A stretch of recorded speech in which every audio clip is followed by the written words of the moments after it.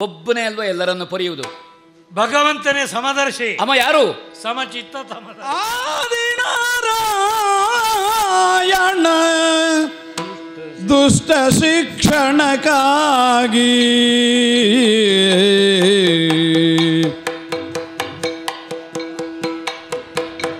ಆದಿನಾರಾಯಣ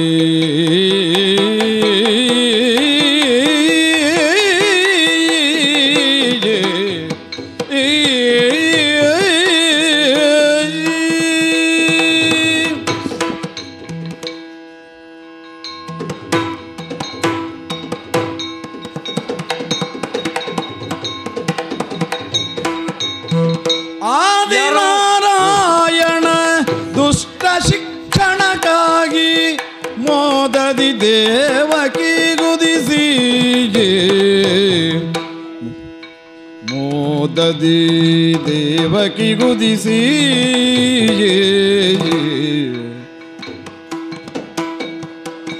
ಸಾದರ ಸಾದರದೊಳು ಪಾಂಡು ಜಾತರ ಪೊರೆಯುವ. ಸಾದರದೊಳು ಪಾಂಡು ಜಾತರ ಪೊರೆಯುವ. ಛೇದಿಸಿ ಹನು ಕಂಸಾದಿಗಳ ಆದಿನಾರಾಯಣ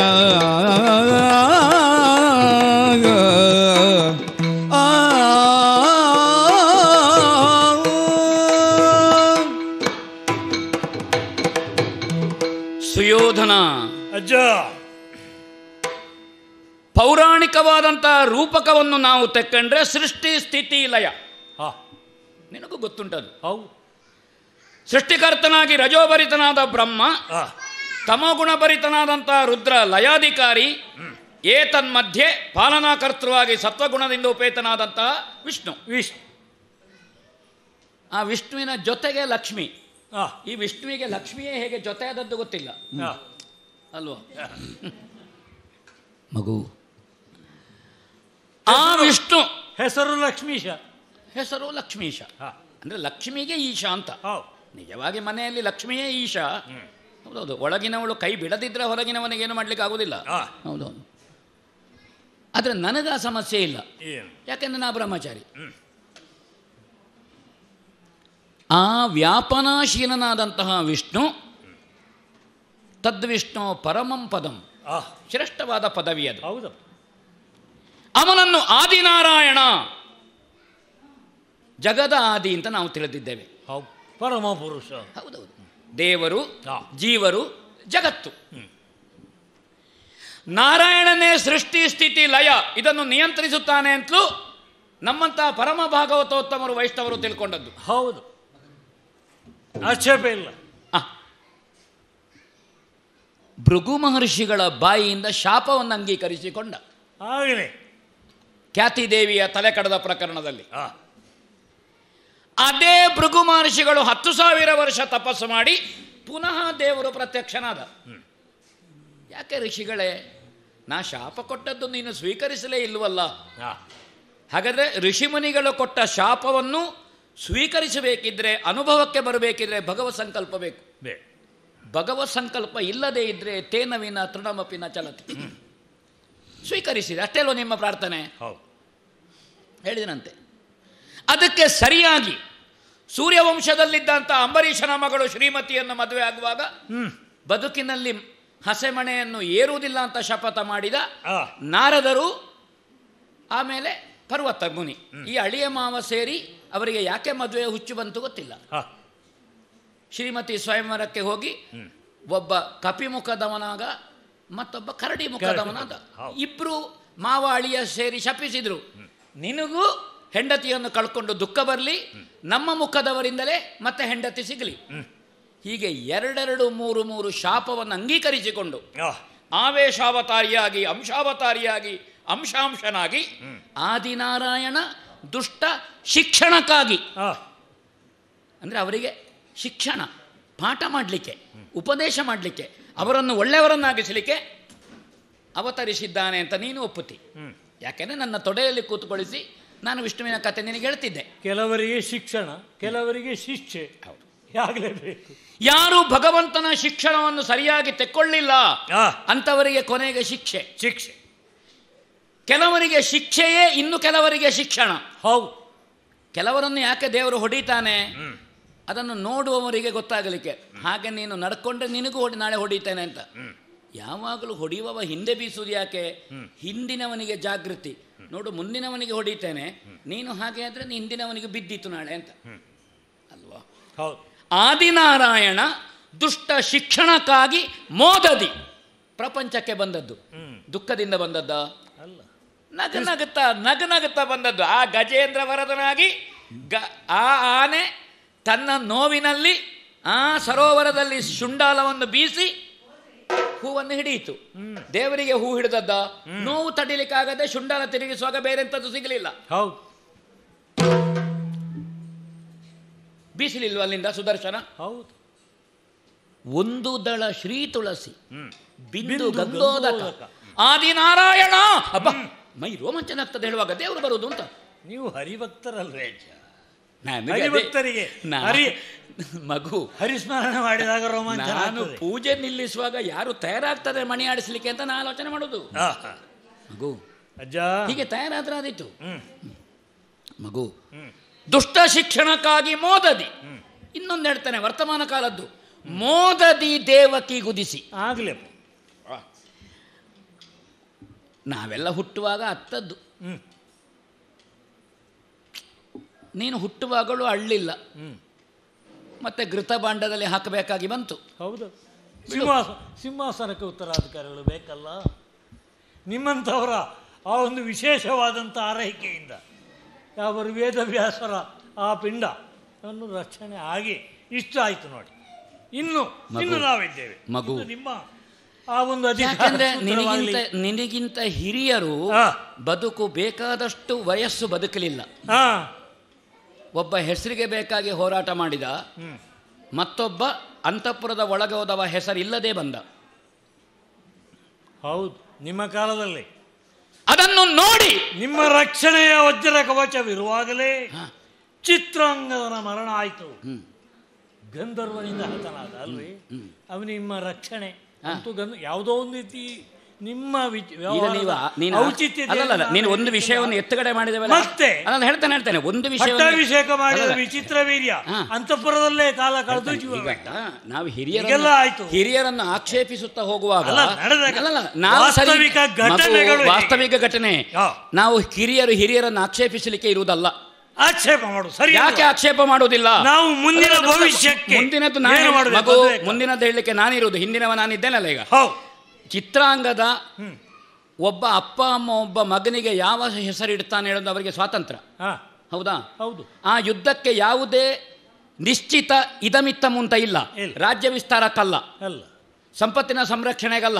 ಬರೇ ಹೆಸರಿಗೆ ಬೇಕಾಗಿ. ಹೆಸರಿಗೆ ಬೇಕಾಗಿ ಯುದ್ಧ ಮಾಡಲಿಕ್ಕೆ ಯುದ್ಧ ನಷ್ಟವನ್ನು ಭರಿಸಲಿಕ್ಕೆ ನಮ್ಮ ಭಂಡಾರ ಇರುವುದಲ್ಲ. ಅಲ್ಲ. ಅವ ಹೆಸರಿಲ್ಲದೆ ಹೋಗಬೇಕು. ಹೆಸರಿಗೆ ಬೇಕಾಗಿ ಯುದ್ಧ ಮಾಡುವವ. ಹಾ. ಆ ಕಾರಣದಿಂದ ಹಾಗೆ ಅಂತ ನಿಯಂತ್ರಣ ತಪ್ಪಿದನೋ? ಆಮೇಲೆ ಗಂಧರ್ವ ಲೋಕವನ್ನು ನಡುಗಿಸಿದೆ. ಚಿತ್ರವೀರ್ಯ ಅದಲ್ಲೇನು ನಾಚಿಕೆ ಇಲ್ಲ ಏಕಾಂತದಲ್ಲಿ ನೀನು ಒಬ್ಬನೇ ಇರುವಾಗ ಹೇಳಲಿಕ್ಕೆ. ಹೌದಪ್ಪ. ಹೌದಾ? ಶೋಭನ ಪ್ರಸ್ಥಕ್ಕೆ ಒಳಗೆ ಹೋದವ ಹೆಣವಾಗಿ ಬಂದಿದ್ದೆ ಎಲ್ಲ. ಕತೆ ನಮಗೆಲ್ಲ ಗೊತ್ತುಂಟಾಜ.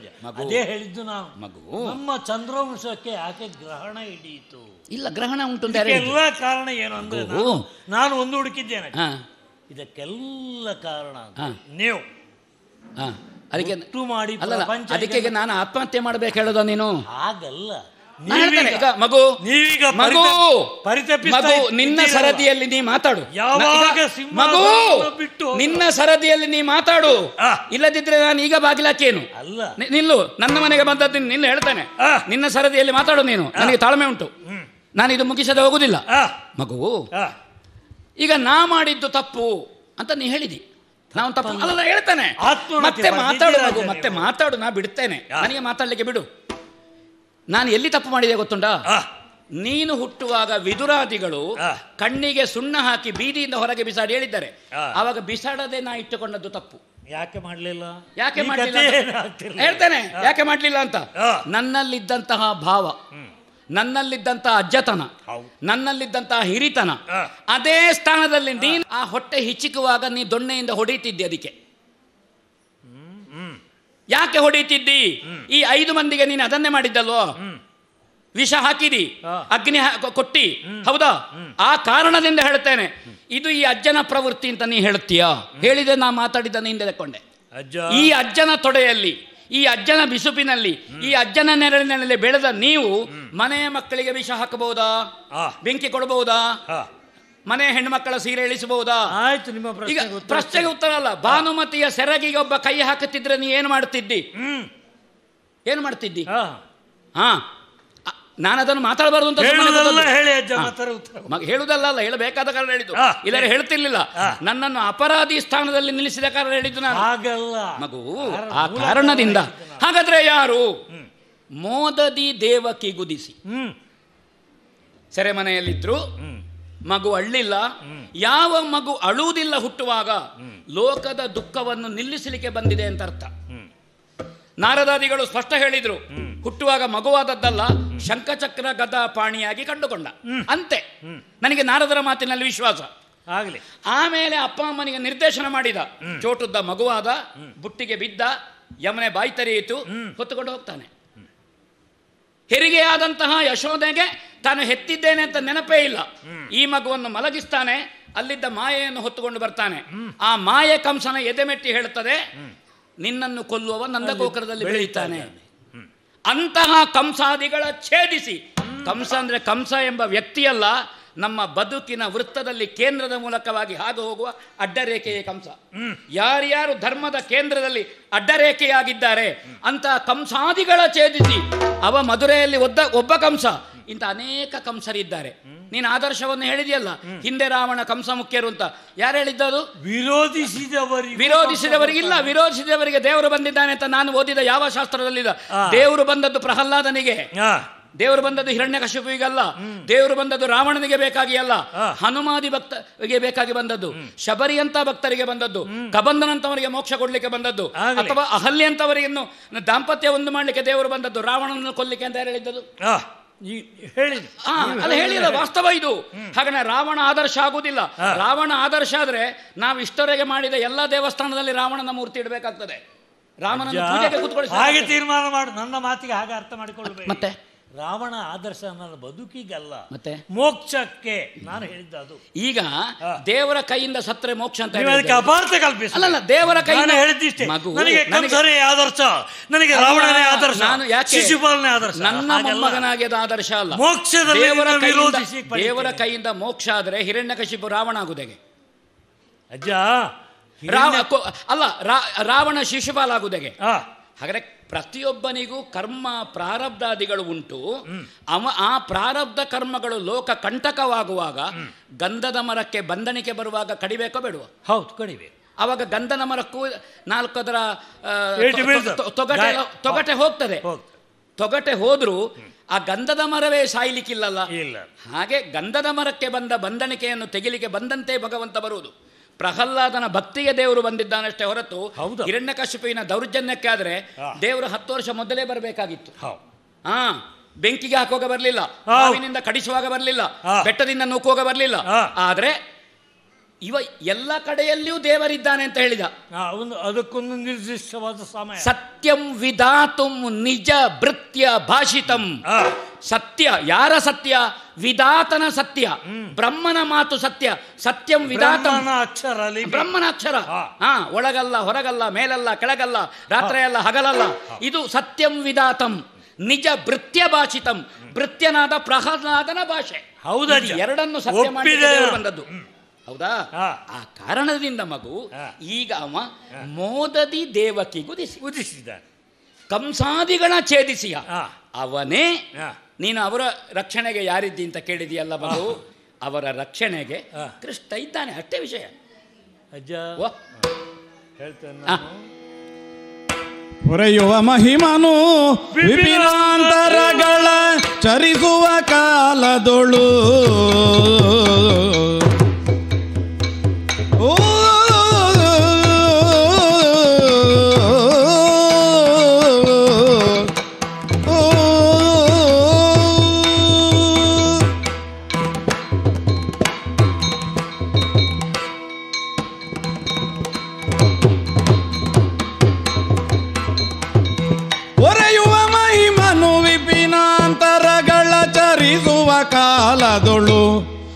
ವಿನಾಂತರಗಳ ಚರಿಸುವ ಕಾಲದೊಳು.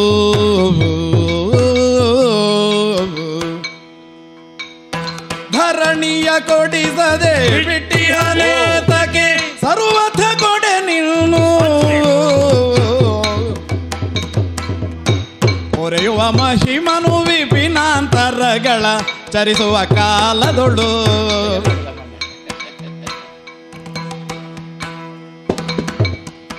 ಧರಣಿಯ ಕೊಡಿಸದೆ ಬಿಟ್ಟಿಹನೇತಕ್ಕೆ ಸಾರುವಥ ಕೊಡೆ ಇನ್ನೂ.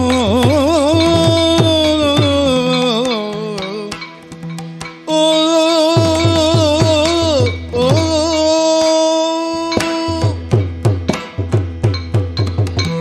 ಅಜ್ಜ! ಸುಯೋಧನ.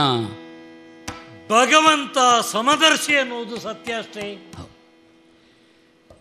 ಈ ದ್ವಾಪರಾಂತ್ಯದಲ್ಲಿ ಕೃಷ್ಣನ ಅವತಾರವಾಗಿದೆ ಎಂದಾಗ ಕೆಂಡ್ ಕೇವಲ ಪಾಂಡವರ ಪಾಲನೆಗಾಗಿ. ಎದುರಿ ಹೇಳಿ ಮಮ ಪ್ರಣಾಹಿ. ಆದರೆ. ಅವನಿಗೆ ರಕ್ಷಣೆಯ ಜವಾಬ್ದಾರಿ ಪಾಂಡವರ ರಕ್ಷಣೆ ಮಾತ್ರ ಅಲ್ಲ. ಸಮಸ್ತ ವಿಶ್ವವನ್ನೇ ಹೌದು. ಚರಾಚರ ವಸ್ತುಗಳಾಗಲಿ ಯಾವ ಪ್ರಾಣಿಗಳಾಗಲಿ ಹೌದು. ಅವರೆಲ್ಲರ ಅಂತರಂಗಗಳಿಗೆ ಆಗು ಹೋಗುಗಳಲ್ಲಿ ಹ್ಮ್. ಅವನಿದ್ದು ಜಗತ್ತನ್ನು ನಡೆಸ್ತಾ ಇರ್ತಾನೆ. ಹೌದು. ಅಂತ ಕೃಷ್ಣ ಪರಮಾತ್ಮ. ತೋರಿಕೆಗೆ ಪಾಂಡವ ಪಕ್ಷಪಾತಿ ಆಗಿದ್ರು ಕೂಡ. ಅವನು ಪಾಂಡವ ಪಕ್ಷ ಕೃಷ್ಣ. ದೇವಕಿಯಲ್ಲಿ ಉದಿಸಿ. ಕಂಸಾದಿಗಳು ಛೇದಿಸಿದ್ದಾನೆ ನಿನ್ನನ್ನು ಛೇದಿಸ್ತಾ ಅಂತ ಹೇಳ್ತೀರಲ್ಲ. ಅದಕ್ಕೆ ನಾನು ಅಳುಕೋ ಅಲ್ಲ. ಮತ್ತೊಂದು ವಿಚಾರ ಕಂಸನು ಹಿರಣ್ಯಕಶಿಪು ಮತ್ತೊಬ್ಬ ಕಳನು ಅವನು ನನಗೆ ಆದರ್ಶ ಅಲ್ಲ ಅಜ್ಜ. ಅಲ್ಲ ಪಾಂಡವ ನಿಷ್ಪಾಂಡವ ಪ್ರತ್ವೆ ಪಾಂಡವರ ಮೇಲೆ ಬಲವಾದ ದ್ವೇಷ ಅವರಿಗೆ ಪಾಂಡವರ ಹನನಕ್ಕಾಗಿ ನೀವು ನಿಷೇಧಿಸಲ್ಪಟ್ಟಂತಹ ಪ್ರಯತ್ನಗಳು ಯಾವುದೇ? ವಿಷ ಜೂಜು ಅಗ್ನಿ ಇವೆಲ್ಲದರಿಂದ ಶತ್ರು ಹನನ ಕಾರ್ಯಕ್ಕೆ ಎಳಸಿದವನು ನಾನು ಸಫಲನೋ ವಿಫಲನೋ ಅದು ಬಿಡೆ. ನಾನು ಎಳಿಸಿದ್ದು ಅವರು ನನ್ನ ಪರಮ ಶತ್ರುಗಳು. ನನಗೆ ನೀವು ಹೇಳುವರು ಹ್ಮ್. ಒಂದೇ ವಂಶದವರು. ಒಂದೇ ವಂಶದವರಾದರೂ ಕೂಡ. ಬಾಲ್ಯದಲ್ಲೇ ಬೆಳೆದು ಬಂದಂತಹ ದ್ವೇಷ ಇಂದು ಬೃಹದಾಕಾರವಾಗಿ ಬೆಳೆದು ದೊಡ್ಡ ಹೆಮ್ಮರವಾಗಿ ಬೆಳೆದು ಗಿಡವಾಗಿರುವಾಗಲೇ ಅದನ್ನು ಬಗೆಸಬಹುದು ಮತ್ತೆ ಬೆಳೆದ ಮೇಲೆ ಬಗ್ಲಿಕ್ಕೆ ಸಾಧ್ಯ ಉಂಟಾ? ಅದೇ ರೀತಿಯಲ್ಲಿ ಪಾಂಡವ ಆ ಕೌರವರ ದ್ವೇಷ ಇಂದು ಇನ್ನು ರಾಜಕೀಯವನ್ನು ಪ್ರವೇಶಿಸಿ ಮಹಾಯುದ್ಧಕ್ಕೆ ಸಿದ್ಧತೆ ಮಾಡಿ ಮತ್ತೆ ಅವರನ್ನು ಪಾಂಡವರನ್ನು ಪರಿತಾನೆ ಕೃಷ್ಣ ಅಂತ ಅಂದ್ರೆ ಪಾಂಡವರನ್ನು ಪರಿಯುವ ಆ ಕೃಷ್ಣ ಈ ವಾಸ್ತವಿಕ ಬದುಕಿನಲ್ಲಿ ಈ ಪಾಂಡವರು ಏನೆಲ್ಲ ಭವಣೆಗಳನ್ನು ಪಟ್ಟಿದ್ದ? ಅವರ ಜೀವನದ ಮುಕ್ಕಾಲು ಪಾಲು ಕಾಡಿನಲ್ಲಿ ಕಳೆದು. ಹೌದಾ? ಅರಮನೆಯಲ್ಲಿ ಚಕ್ರವರ್ತಿಯ ಮಕ್ಕಳು ಅಂತ ಹೇಳಿದವರು ಕಾಡಿನಲ್ಲಿ ನಾನಾ ರೀತಿಯ ಭವಣೆಗೆ ಒಳಪಟ್ಟು. ಅದು ಅವರ ಪ್ರಾರಬ್ಧ ಅದು. ಅಲ್ಲಿ ಕೃಷ್ಣ ಅವರನ್ನು ಎತ್ತಿ ಹಿಡಿಯಲಿಲ್ಲ. ಕೊನೆಗೆ ಮಹಾಯುದ್ಧ. ಇದಕ್ಕೆಲ್ಲ ಒಂದು ಪೂರ್ಣ ವಿರಾಮ ಹಾಕಬೇಕು ಮುಕ್ತಾಯ ಮಾಡ ಆಗಬೇಕು. ಎನ್ನುವ ದೃಷ್ಟಿಯಲ್ಲಿ ಯುದ್ಧವನ್ನು ವಿರಚಿಸಲಿಕ್ಕೆ ನಾನೇ ಕಾರಣಕರ್ತನಾದೆ. ಈಗ ನೀವು ಹೇಳ್ತೀವಿ ಕೃಷ್ಣ ಮೇದಿನಿಯನ್ನು ಕೊಡಿಸದೆ ಇರಲಿಕ್ಕಿಲ್ಲ. ಕಂಸನ್ನು ಛೇದಿಸಿದ್ದಾನೆ. ಅವನನ್ನು ಛೇದಿಸಿದ ಅದೆಷ್ಟೇ ಇರಲಿ. ದುಷ್ಟರ ಹರಣವೇ ಅವನ ಉದ್ದೇಶ. ಆ ಪಾಂಡವರ ಆ ಕೃಷ್ಣ ಅವತಾರದ ಔಚಿತ್ಯದಲ್ಲಿ ಈ ದೇಶವನ್ನು ಈ ಜಗತ್ತನ್ನು ಉದ್ಧರಿಸಬೇಕಿದೆ. ಈ ಮಹಾಯುದ್ಧವನ್ನು ಸೃಷ್ಟಿ ಮಾಡಿದಂತ ನಾನು. ನಾನು ಒಂದು ರೀತಿಯ ಸಹಕಾರವನ್ನು ಕೊಡ್ತೇನೆ. ಈ ಮಾತನ್ನು ನಾನು ಹೇಳಿದವನು. ಆದರೆ ನೀವು ಹೇಳ್ತೀರಿ ಆ ಅವನು ಅವನಿಗೆ ಆದರ್ಶವ? ರಾವಣ ಆದರ್ಶ ಅಲ್ಲ. ಆದರ್ಶ ಆದ್ರೆ ನಮ್ಮ ವಂಶದವರೇ ಇಲ್ವಾ? ಹೆಚ್ಚೇಕೆ ನೀವೇ ಇಲ್ವಾ? ನೀವು ಬ್ರಹ್ಮಚಾರಿಗಳು ಒಂದು ಬಿಟ್ಟು ಮತ್ತೆ ನಿಮ್ಮ ಆದರ್ಶವನ್ನು. ಅನುಸರಣೆ ಮಾಡಬೇಕಾದ್ದು. ಇಡೀ ಪ್ರಪಂಚವೇ ಅನುಸರಣೆ ಮಾಡಬೇಕಾದ್ದು. ಯಾಕಂದ್ರೆ ನೀವು ಆಚಾರ್ಯರು. ಯಾರಿಗೆ ಆಚಾರ್ಯರು? ಕ್ಷತ್ರಿಯ ವಂಶಕ್ಕೆ ಆಚಾರ್ಯರು. ಆಗಿರುವಾಗ ನಿಮ್ಮೆಲ್ಲ ಆದರ್ಶವನ್ನು ಬಿಟ್ಟು ನಾನು ರಾವಣನ ಆದರ್ಶವನ್ನು ಆಚರಿಸುವಂತ ಮೂರ್ಖನೇ ನಾನು. ಆ ಅಪವಾದ ಆ ಅಪಚಾರ ನನ್ನ ಮೇಲೆ ಮಾಡಬೇಡಿ. ಇಲ್ಲ ನೀ ಸಭೆಯಲ್ಲಿ ಹೇಳಿದ ನನಗೆ ಬೇಸರ. ನೀನು ಸಭೆಯಲ್ಲಿ ನನಗೆ ಭೀಷ್ಮಾಚಾರ್ಯರ ಆದರ್ಶ ದ್ರೋಣರ ಆದರ್ಶ ಕೃಪರ ಆದರ್ಶ ಅಂತ ಹೇಳಿದ್ರೆ ಹೆಮ್ಮೆ ಪಡ್ತಿದ್ದೆ. ನಾನು ಕುಳಿತ ಸಭೆಯಲ್ಲೇ ನೀನು ಹೇಳುದು ರಾವಣ ಕಂಸ ಮುಖ್ಯರ ಆದರ್ಶ ಅಂದ್ರೆ ನನ್ನ ಜೀವಂತ ಕೊಂದದಲ್ಲ ಅದು? ಅದು ಅವನಲ್ಲೆಲ್ಲ ಮತ್ತೆ ಅವನಲ್ಲಿ ಆದ್ರೂ ನಾ ಸಭೆಯಲ್ಲಿದ್ದೇನಲ್ಲ? ಈಗ ನೋಡಿ ನನ್ನ ಎದುರೇ ನೀನು ರಾವಣನ ಆದರ್ಶ ಹೇಳಿದ್ರೆ ನನ್ನ ಮೇಲೆ ನೀವು ಇದು ಮಾಡುವುದಿದ್ರು ಕೂಡ. ಕುರುಕುಲ ಅನ್ವಯ ತಿಲಕ ನೀನು ಅಂತ ಹೇಳಿದೆ ಸಭೆಯಲ್ಲಿ ಒಮ್ಮೆ ಹೇಳ್ತಿದ್ರೆ ಸಾಕಿತು ಹೇಳಿದೆ ನೀನು ಯಾವಾಗ- ನಾನು- ಇತಿಹಾಸವನ್ನು ಮತ್ತೆ ನಾನು ಪುನರ್ವೃತ್ತಿ ಮಾಡುವುದಿಲ್ಲ. ಸಿಂಹಾಸನ ತ್ಯಜಿಸಿ ಹೋದ ಪಾಂಡು ಚಕ್ರವರ್ತಿ. ರಾಜಲಾಂಛನ ಚಕ್ರವರ್ತಿತ್ವ ಎಲ್ಲವನ್ನು ಧೃತರಾಷ್ಟ್ರನಿಗೆ ಒಪ್ಪಿಸಿದ. ಹೌದು. ಮತ್ತೆ ಕೂರಿಸಿದ್ದು. ಹಾ. ಹುಟ್ಟುಗುರುಡರಾದ ನಮ್ಮ ಅಪ್ಪ ಹೌದು. ಚಕ್ರವರ್ತಿಗೆ ಮಕ್ಕಳು ಆಗುವುದಿಲ್ಲ ರೋಗಗ್ರಸ್ತನಾದವನು ಶಾಪಗ್ರಸ್ತನೂ ಆದ.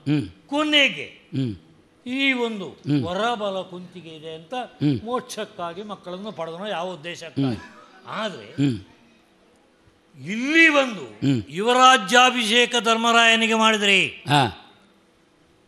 ಅಂತೂ ನಿಮ್ಮಲ್ಲಿ ಒಂದು ರೀತಿಯ ದಾಕ್ಷಿಣ್ಯ ಪ್ರವೃತ್ತಿ. ಒಬ್ಬ ಮೇರು ವ್ಯಕ್ತಿತ್ವವನ್ನು ಹೊಂದಿದ ವ್ಯಕ್ತಿಯಾದರೂ ಕೂಡ ದೃಢ ನಿರ್ಧಾರವನ್ನು ಮಾಡಬೇಕು. ಯಾವುದೇ ದಾಕ್ಷಿಣ್ಯಕ್ಕೆ ಒಳಗಾಗಬಾರದು. ಒಮ್ಮೆ ದಾಕ್ಷಿಣ್ಯ ಪ್ರವೃತ್ತಿಗೆ ಒಳಗಾದ್ರೆ ಮತ್ತೆ ಅವನಿಂದ ಏನು ಮಾಡ್ಲಿಕ್ಕೆ ಆಗುವುದಿಲ್ಲ ಅಂತೂ ನಿಮ್ಮಂತಹ ಮಹಾಮಹಿಮರು ಧೀರೋದ್ಧಾತರು ಅತ್ಯುನ್ನತ ವ್ಯಕ್ತಿತ್ವದವರು ವಂಶದಲ್ಲಿ ನಮ್ಮ ವಂಶದಲ್ಲಿ ಇರುವಾಗ ಬಾಳಿ ಬದುಕುವಾಗಲಿ ಈ ರೀತಿಯ ಪಾಂಡವ ಕೌರವ ದ್ವೇಷ ಬೆಳಿ ಇದಕ್ಕೂ ಕಾರಣ ಇದು ಈ ಎಲ್ಲ ಕಾರಣ. ಮಗು ಗತ ಇತಿಹಾಸ ಬೇಡ ಅಂತ ಹೇಳಿ ನೀ ಎಳೆದಾಕಿದೆ. ಹೌದು. ನಾನು ಹೇಳದೆ ನಿವೃತ್ತಿಲ್ಲ ಯಾಕೆ ಯಾಕೆ ಅಲ್ಲ ಯಾಕೆ ಹೇಳ್ತಾನೆ? ಮಗು. ಅಲ್ಲ ನಾನು ಹೇಳ ಅಲ್ಲ ಕೊಟ್ಟಾಗಿದೆ ಅಂತ ನಿನ್ನ ಮಾತು ಈಗ ಅಲ್ಲ ನೀನು ನೀನು ಮಾತು ಹೇಳಿದ ಮೇಲೆ ನಾನು ಮಾಡೋ ಉಪದೇಶ ಅಂತ ಹೇಳಲಿಕ್ಕಿಲ್ಲ ಕೇಳಬೇಕು. ನೀವು ಇಲ್ಲದಿದ್ರೆ ಇಲ್ಲಿಂದ ಹೊರಡಬೇಕು. ಯಾಕೆ ಹೇಳಿದೆ ನಿಲ್ಲು ನಿಲ್ಲು! ನಾನು ಹೇಳಿದ್ದಕ್ಕೆ ನಾ ಹೇಳಬೇಕಲ್ಲ ಮಗ. ನೀನು ಸುಮ್ಮನೆ- ಅದನ್ನಲ್ಲ ನಾನು ಹಿಂದೆ ಬರ್ತೇನೆ. ನೀ ಹೇಳಿದ್ದನ್ನ ಹೇಳಿದೆ ನನಗೆ ನೆನಪಿಲ್ಲ. ನನಗೆ ಹೀಗೆ ಮಾತಾಡೋದು ಅಪರೂಪಕ್ಕೊಮ್ಮೆ ಅಲ್ಲ ನನಗೆ ಅಭ್ಯಾಸ ಆಗಿದೆ ನಿತ್ಯ ಹೌದು. ಮಾತಾಡ್ತೇನೆ ಮಗು. ಆ, ಓಲಗಿಸಿ ಗೊಂಬಾತ ನಂದ ನೃಪ ಆ, ಆಗಲೇ. ಆಗಲಿ ಅಲ್ಲ ಹೌದಂತ ಹೇಳಿದ್ದನು ಹೌದು ಹೇಳಿ ಹೌದು ಗೊತ್ತಿರದಿದ್ರೆ ತೆಗೆದು ಓದು ಆ, ಓಲಗಿಸಿ ಗೊಂಬಾತ ನಂದ ನೃಪ ಹಾಗಾದ್ರೆ ಓಲಗದಲ್ಲಿ ಅಂದ ನೃಪ ಓಲಗಿಸಿ ಅದೇ ಶಬ್ದವೇ ಹಾಗೆ ಉಂಟದು. ಹೌದು. ಅವ ಓಲಗದಲ್ಲಿ ಅಧಿಕಾರವನ್ನು ಹೇಗೆ ಹಂಚಿದ್ದೇನೆ ಅಂತ. ಹೌದಾ? ಹೊರಗಿನ ಆಡಳಿತವನ್ನು ನೋಡ್ಲಿಕ್ಕೆ ಪಾಂಡು. ಹ್ಮ್. ಸಲಹೆಗಾರ ವಿದುರ ಅಧಿಕಾರದ ವಿಕೇಂದ್ರೀಕರಣ ಹಾಗೆ. ಧೃತರಾಷ್ಟ್ರನ ಮೂಲೆಗೆ ತರಲಿಲ್ಲ. ಓಲಗಿಸಿ ಕೊಂಬಾತ. ಓಲಗ ಕೊಡುವ ಧೃತರಾಷ್ಟ್ರನೇ. ಹೇಳಿದಲ್ಲ ಅಂತ. ಅಭಿಷೇಕ ಪಾಂಡ್ರಿ ಇಲ್ಲ ನಾನು. ಈಗ ಮಧ್ಯ ಮಾತಾಡಿದ್ರೆ ನಿನಗೆ ಯಾವುದು ಅರ್ಥ ಆಗುದಿಲ್ಲ. ಮತ್ತೆ ನೀನು ನನಗೆ ನನಗೆ ನೆನಪಿರ್ತದೆ ನನಗೆ ಮರ್ತೋಗುದಿಲ್ಲ. ನನಗೆ ಮರ್ತೋಗುವ ಕಾಲಕ್ಕೆ ಮಾತು ನಿಲ್ಲಿಸ್ತೇನೆ. ಹೌದಾ?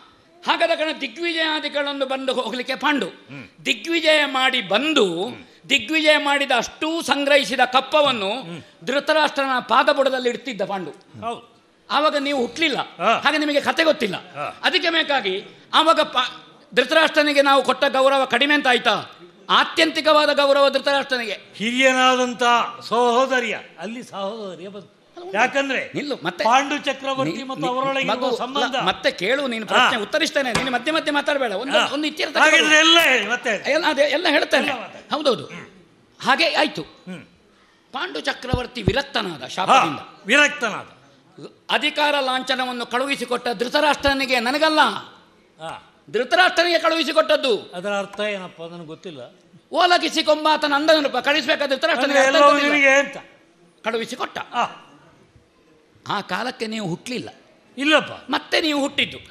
ಹುಟ್ಟಿದ ಮೇಲೆ. ಪಾಂಡವರು ಹಸ್ತಿನಾವತಿಗೆ ಬಂದ ಮೇಲೆ.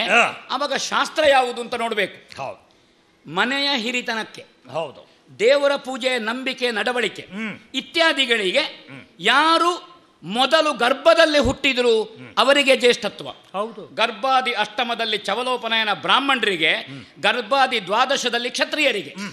ಗರ್ಭಾದಿ ಷೋಡಶದಲ್ಲಿ ವೈಶ್ಯರಿಗೆ. ಹೌದು. ಆ ಲೆಕ್ಕಾಚಾರದಿಂದ ಗರ್ಭಧರಿಸಿದ ಗಾಂಧಾರಿಯ ಮಕ್ಕಳು ಹಿರಿಯರು. ಹಿರಿಯರು. ಹೌದಾ? ಅದಕ್ಕೆ ಬೇಕಾಗಿ ಕುರುಕುಲವೆಂಬಂತಹ ಮನೆತನಕ್ಕೆ ನೀನು ತಿಲಕ. ನಾನು ರಾಜ್ಯಕ್ಕೆ ಅಂತ ಹೇಳಲೇ ಇಲ್ಲ ಆಗ. ನೀನು ಹೇಳಿದೆಯಲ್ಲ ಸಭೆಯಲ್ಲಿ ಹೇಳಬೇಕಿತ್ತು ಅಂತ. ಕುರುಕುಲಾನ್ವಯ ತಿಲಕ. ಮನೆತನದ ಹಿರಿಯ ನೀನು. ರಾಷ್ಟ್ರಾನ್ವಯಕ್ಕೆ ಯಾರ ಹುಟ್ಟಿನಿಂದ ಸೂತಿಕಾಚರಣೆ ಬಂತು ಕುಟುಂಬಕ್ಕೆ? ಅವ ಹಿರಿಯ. ಸೂತಿಕಾಚರಣೆ ಬಂದದ್ದು ಧರ್ಮರಾಯ ಹುಟ್ಟಿದ ಕಾರಣ ಮೊದಲು. ನಿಮ್ಮತ್ತೆ ಹುಟ್ಟಿದ್ದು. ಹಾಗನೆ ರಾಷ್ಟ್ರಾನ್ವಯಕ್ಕೆ ಧರ್ಮರಾಯ ದೊಡ್ಡವ. ಆ ಕಾರಣದಿಂದ ಯುವರಾಜ ಪಟ್ಟಾಭಿಷೇಕ ಧರ್ಮರಾಯನಿಗೆ ನನಗೆ ಸ್ವಯಂ ಉಂಟು ತಲೆಸರಿ ಉಂಟು ನನಗೆ. ಶಾಸ್ತ್ರ ಇಲ್ಲದೆ ಭೀಷ್ಮ ಮಾತಾಡ್ಲಿಕ್ಕಿಲ್ಲ. ಯಾಕೆ? ನಾನು ಭೀಷ್ಮಾಚಾರ್ಯ. ನಾಲ್ಕು ಗುರುಗಳ ಮಂತ್ರಾಕ್ಷರತೆಗೆ ನೆತ್ತಿ ಒಡ್ಡಿದ್ದೇನೆ ಈ ನೆತ್ತೆಯನ್ನು. ಅದಕ್ಕೆ ಬೇಕಾಗಿ ಆದರೂ ಕುರುಕುಲಾನ್ವಯಕ್ಕೆ ತಿಲಕನಾದ ನಿನ್ನನ್ನು ಮನೆಯ ದೇವರ ಪೂಜೆ. ಹೌದಾ? ಮನೆಯ ಲಾಂಛನಗಳು. ಬಿರುದು ಬಾವಲಿಗಳು ಹಿರಿತನ ಮಹಾಲಯಾದಿ ಶ- ಶ್ರಾದ್ದಗಳು ಹೌದಾ? ಎಲ್ಲಿ ಆಗ್ತದೆ? ಅಷ್ಟಕ್ಕೆ ಶ್ರಾದ್ದ ಅದು ಆಗೋದು ಇಲ್ಲಿ ನಮ್ಮ ಮೂಲ ಮನೆಯಲ್ಲಿ. ಅದಕ್ಕೆ ಮೂಲ ಮನೆಯಲ್ಲಿ ನಿನ್ನನ್ನು ನಿಲ್ಲಿಸಿಕೊಂಡು ಧರ್ಮರಾಯನಿಗೆ ಪಟ್ಟಾಭಿಷೇಕ ಯುವರಾಜ ಮಾಡಿ ಕಾಡಿಗೆ ಕಳುಹಿಸಿದ್ದೇನೆ. ಕಾಂಡವಪ್ರಸ್ಥಕ್ಕೆ ಇಂದ್ರಪ್ರಸ್ಥವನ್ನಾಗಿಸಿದ್ದಾರೆ. ಹೌದಾ? ಅದಕ್ಕೆ ಬೇಕಾಗಿ ಸ್ವರ್ಣಯಾಗಕ್ಕೆ ತೊಳುವಾಗ ನಾವು ಹೇಳಿದ್ದು ಒಂದು ಮನೆಯಲ್ಲಿ ಎರಡು ಸ್ವರ್ಣಯಾಗ ಎರಡು ರಾಜಸೂಯ ಇಲ್ಲ. ಸ್ವರ್ಣಯಾಗ ಮಾಡಿ ರಾಜಸೂಯ ಅಂದರೆ ಪಿತೃ ಸದ್ಗತಿಗೆ ಮಾಡೋದು. ಅದು ಅವರಿಗೆ ಧರ್ಮರಾಯ ರಾಜಸೂಯ ಮಾಡಿದ್ದರಿಂದ ಅವನ ಪಿತೃಗಳಿಗೆ ಮಾತ್ರ ಸದ್ಗತಿ ಅಲ್ಲ ಪಿತೃಗಳಿಗೆಲ್ಲ ಸದ್ಗತಿ. ಇನ್ನೊಂದು ಒಂದೇ. ಇನ್ನೊಂದು ಹೇಳ್ತೇನೆ ಒಂದೇ ಕುಟುಂಬದಲ್ಲಿ ಎರಡು ಮಹಾಲಯ ಶ್ರಾರ್ಧ ಮಾಡ್ಲಿಕ್ಕಿಲ್ಲ ಅಷ್ಟಗತಿ ಮಾಡ್ಲಿಕ್ಕಿಲ್ಲ. ಒಂದೇ ಮಾಡುವುದು ಅದಕ್ಕೆ. ಸ್ವರ್ಣಯಾಗ ಮಾಡಿ ಅಂತ ನಾನು ಹೇಳಿದವ. ಮಗು ಈ ಇತಿಹಾಸದ ಗತಾವಲೋಕನ ಮಾಡು ನೀನು. ಎಲ್ಲಿ ತಪ್ಪಿದ್ದೇನೆ? ರಾಷ್ಟ್ರಾನ್ವಯಕ್ಕೆ ಧರ್ಮರಾಯ ಕುರುಕುಲಾನ್ವಯಕ್ಕೆ ನೀನು. ಈಗಲೂ ನಾ ಹೇಳಿದ್ದು ರಾಷ್ಟ್ರಾನ್ವಯಕ್ಕೆ ತಿಲಕ ಅಂತಲ್ಲ. ಕುರುಕುಲಾನ್ವಯ ತಿಲಕ ಬಾ. ಇದು ಹೃದಯದ ಮಾತು. ಓಹೋ. ಈಗಲೂ ಹೇಳ್ತೇನೆ ನಾನು ಆ ಕಾರಣದಿಂದ ಧರ್ಮರಾಯನಿಗೆ ಆದರೂ ಧರ್ಮರಾಯ ದೊಡ್ಡ ಕೊಡುಗೆ ಕೊಟ್ಟಿದ್ದಾನೆ ನಿನಗೆ? ಯಾವುದು? ಅರ್ಧ ರಾಜ್ಯ ಬೇಡ ಹೇಳಿದ್ದಾನೆ. ಐದು ಗ್ರಾಮ ಸಾಕು ಹೇಳಿದ್ದಾನೆ. ಸಾಮಂತರು ಕಪ್ಪವನ್ನು ನಿನ್ನ ತಾಲ ಕಾಲಬುಡದಲ್ಲಿಡ್ತಾರೆ. ಸಪ್ತದ್ವೀಪಾಂಕಿತವಾದಂತಹ ಸಾಮಂತರು ಪಾದಬುಡದಲ್ಲಿ ಕಪ್ಪವನ್ನಿಟ್ಟು ಅವರ ಕಿರೀಟಮಣಿಗಳಿಂದ ಬೆಳಗುವ ಪಾದ ಮಗುವುದು ಪಾದ. ಪಾದ ಅದು ಶ್ರೀಪಾದ ಮಗು. ನಾನು ಕೈ ಮುಗಿದು ನಿಲ್ತೇನೆ. ಎಲ್ಲಿ ನಿನ್ನ ನಾವು ಗೌರವಿಸಿದ್ದೇನೆ? ಸಭೆಯಲ್ಲಿ ನಿನ್ನ ಮುಂದೆ ಕೈ ಮುಗಿದು ನಿಲ್ಲುವುದಿಲ್ವಾ? ನಾನು ಕೈ ಮುಗಿದು ನಿಲ್ಬೇಕಾ ನಿನ್ನ ಸಭೆ ಮುಂದೆಯಲ್ಲಿ ಒಡ್ಡವಲಗ ಕೊಡಬೇಕಾಜ್ಜ ಅಂತ ನನ್ನ ಕೋಣೆಗೆ ಬಂದು ನೀವು ಕೇಳಿ ಹೋಗಬೇಕು. ನಾ ಬಂದು ನಿಂತಿದ್ದೇನೆ ತಲೆಬಾಗಿ. ಹೌದಾ? ಕುರುಕುಲ ಅನ್ವಯ ತಿಲಕ ಅಂದದು. ಮನೆತನದ ಮಣೆ ಮಗುವುದು. ಆ ಮನೆತನದ ಮಣೆಗೆ ಗೌರವ ಕೊಟ್ಟಿದ್ದೇನೆ. ಈಗ ಮನೆತನದ ಮಣೆ ಬೇರೆ. ರಾಷ್ಟ್ರದ ಮಣೆ ಬೇರೆ. ಬೇರೆ. ಈ ಎರಡು ಮಣೆ ಬಾ ಇರಬಾರ್ದು. ಇದ್ರೆ ಒಂದೇ ಮಣೆ ಹಾಕಬೇಕು. ಎನ್ನುವುದು ನನ್ನ ಸಿದ್ಧಾಂತ. ಸರಿ. ಇಬ್ಬಗೆಯ ಹಕ್ಕು ಇಷ್ಟವರೆಗೆ ಪ್ರತಿಪಾದನೆ ಆದದ್ದು. ಅಜ್ಜ ಹಾ. ಮಧ್ಯ ಮಾತಾಡಿದೆ ಅಂತ ಹೇಳ್ಬೇಕು ಇಲ್ಲ ಈಗ ಮಧ್ಯ ಇಲ್ಲ. ಚಂದ್ರವಂಶದಲ್ಲಿ ಎರಡು ಬಗೆಯ ಹಕ್ಕು ಪ್ರತಿಪಾದಿ ಪ್ರತಿಷ್ಠಾಪಿಸಿದ್ದು ಪ್ರತಿಪಾದಿಸಿದ್ದು. ಈವರೆಗೆ ನಡೆದದ್ದಿಲ್ಲ. ನಾನು ಕೇಳಿ ನೀವು ಕೇಳಿದಿರೋ ಗೊತ್ತಿಲ್ಲ ಮಾರುಬಹುದು. ಇಲ್ಲ. ಉಂಟಪ್ಪ. ಇಲ್ಲಿ ಮಾತ್ರ. ಈಗ ದೇವಾಪಿ ಇರುತ್ತಾ? ಇವ ಒಂದು ನೀನು- ಇತಿಹಾಸವನ್ನು ನಾವು ಎತ್ತಿ ಹಾಕಿದ ಮೇಲೆ ರಾಷ್ಟ್ರಾನ್ವಯಕ್ಕೆ ಅವ. ಈ ಇಬ್ಬಗೆಯ ನೀತಿಗಳು ಈ ದಾಕ್ಷಿಣ್ಯ ಪ್ರವೃತ್ತಿಗಳಿಂದಾಗಿ ಕೊನೆಗೆ ನಾನು ನಿರ್ಣಯ ಮಾಡಿದೆ. ಏನು? ಒಂದೇ. ಒಂದೋ ಪಾಂಡವರು ಒಂದೋ ಕೌರವ್ ಹೀಗೆ ಅಂತ ತೀರ್ಮಾನ ಮಾಡಿ ನಿಷ್ಕರ್ಷ ಮಾಡಿ. ನೀವು ಗತ ಇತಿಹಾಸ ಕಥೆಗಳನ್ನು ಎಷ್ಟು ಹೇಳಿದ್ರು? ನನ್ನ ಹೃದಯಸ್ಥವಾದ ಅಭಿಪ್ರಾಯ ಕೃಷ್ಣನಲ್ಲಿ ಹೇಳಿದ ಮೇಲೆ ನೀವು ಅಲ್ಲಿ ಇದ್ದ ಮೇಲೆ ಇಷ್ಟೆಲ್ಲ ಘಟನಾವಳಿಗಳನ್ನು ಕಣ್ಣಾರೆ ನೋಡಿ ಅನುಭವಿಸಿದ ಮೇಲೆ ಹೌದೌದು. ನಿಮಗೆ ಬೇರೆ ಹೇಳಿ ನಾನು ಹೇಳಬೇಕು ಬೇಡ. ನಮ್ಮಲ್ಲಂತೂ ಪ್ರೀತಿ ಸ್ಫುರಿಸುವುದೇ ಇಲ್ಲ. ಹಾ. ನನ್ನ ಅಂತರಂಗದಲ್ಲಿ ಪಾಂಡವರ ಬಗ್ಗೆ ಪ್ರೀತಿಯ ಚಿಲುಮೆ ಚಿಮ್ಮುವುದಕ್ಕೆ ಶುಷ್ಕ ಒಣ ಮರುಭೂಮಿ ಅಂತ ಸರಿ. ಮತ್ತೆ ಅವರು ಸತ್ರ ಸಂಪನ್ನರು ಮಹಾವೀರರು. ಅವರಿಂದಾಗಿ ನನಗೆ ಮರಣ ಬಂದಿತು ಅನ್ನುವಂತ. ಆ. ಮರಣದ ಭಯವೂ ಕೂಡ ನನಗಿಲ್ಲ. ಅಂಜೋ ಅಂಜುವ ಅಳುಕುವ ನಾನಲ್ಲ. ಇದೆಲ್ಲವನ್ನು ಕೃಷ್ಣನಲ್ಲಿ ಹೇಳಿದ್ದು ನಿಜವಾಗಿ ತೋರಿಕೆಗೆ ಹೇಳಿದ್ದಲ್ಲ. ಅದು ನನ್ನ ದಿಟ್ಟವಾದಂತಹ ಅಭಿಪ್ರಾಯ ಅಂತ ಹೇಳಿದ್ದೇನೆ. ಸರಿ. ಅದನ್ನೇ ಪ್ರತಿಪಾದನೆ ಮಾಡು ಅದಕ್ಕಾಗಿ ಯುದ್ಧ ಅಂತ ನಾನು ಅದಕ್ಕಾಗಿ ಯುದ್ಧ. ಈಗ ರಕ್ಷಿಸುವಂತಹ ಕೃಷ್ಣ ಪಾಂಡವರಿಗೆ ವನವಾಸಾದಿ ಕಷ್ಟವನ್ನು ಕೊಟ್ಟಿದ್ದಾನೆ. ಅಲ್ವಾ? ನಾವು ಅಲ್ಲಿದ್ದೇವೆ ಈಗ. ಅಲ್ವಾ? ಹೌದು. ನನಗೆ ನೆನಪುಂಟು. ಮುಂದೆ ಹೋಗುವ. ನನಗೆ ನ- ಮುಂದೆ ಅದೇ. ನಾವು ಮುಂದೆ ಹೋಗಬೇಕಾದ್ರೆ ಈಗ ಎಲ್ಲಿ ಇದ್ದೇವೆ ಅಂತ ಗೊತ್ತಬೇಕಲ್ಲ? ಇಲ್ಲದ ಇಲ್ಲದ್ರೆ ಪುನಃ ಹೋಗಿ ಮುಂದೆ ಹೋದದ್ದು ಹಿಂದೆ ಆದ್ರೆ ಅದು? ನಾವು ಹೊರಟಲ್ಲಿಗೆ ಪುನಃ ಬಂದೆವು ಅಂತ ಆಗಬಾರ್ದಲ್ಲ ಹೌದು. ಮಗು ಅದನ್ನು ನಾನು ಕೆಡುಕು ಅಂತ ಹೇಳುದು. ಕೆಡುಕ ಯೋಚಿಸದೆ ಓಹೋ. ಕೆಡುಕ ಯೋಚಿಸಬೇಡ. ಸತ್ಯ ಮಾರ್ಗಗಳನ್ನು ಓ.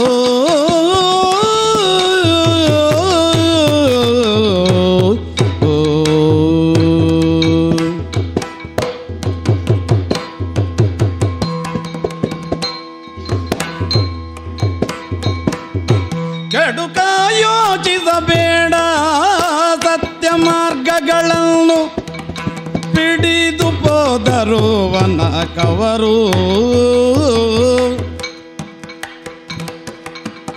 ಕೊಡದಿರೆ ಅರ್ಧ ರಾಜವ ಕೃಷ್ಣ ಧುರದಳು ಬಿಡದೆ ಹೊಂದಿಪ ಜಯಗಳನ್ನು. ಓ.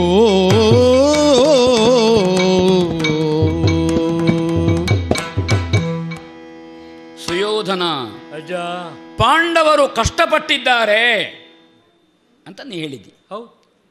ಮಗು ನಮಗೆ ಕಷ್ಟ ಆಯಿತು ಅಂತ ಪಾಂಡವರು ಹೇಳಿದ್ದಾರಾ? ಕಷ್ಟ ನಷ್ಟ. ಇದೆಲ್ಲ ಜೀವನದಲ್ಲಿ ಬರುವುದಲ್ಲ ನಾನು ಹೇಳುದು ಅದಲ್ಲ ಮಗ. ಈಗ ಪಾಂಡವರು ಕಷ್ಟಪಟ್ಟಿದ್ದೇವೆ ಅಂತ ಹೇಳಿದ್ರಾ? ಎಲ್ಲಿಯಾದರೂ? ನಿನ್ನ ಅವಗಾನಗೆ ಬಂದಿದ? ಅಲ್ಲ ನನ್ನಲ್ಲಿ ಹೇಳಿಕೊಳ್ಳುವ ಅಲ್ಲ ನಿನ್ನಲ್ಲಿಲ್ಲ. ಅಲ್ಲ. ಅಲ್ಲ ನಾನು ಈಗ ನನ್ನ ಮಾತಿಗೊಂದು ಉತ್ತರ ಕೊಡು. ಈಗ ಪಾಂಡವರಿಗೆ ಕಷ್ಟ ಬಂದಿದೆ ಅಂತ ನೀ ಆಲೋಚನೆ ಮಾಡಿದ್ದು.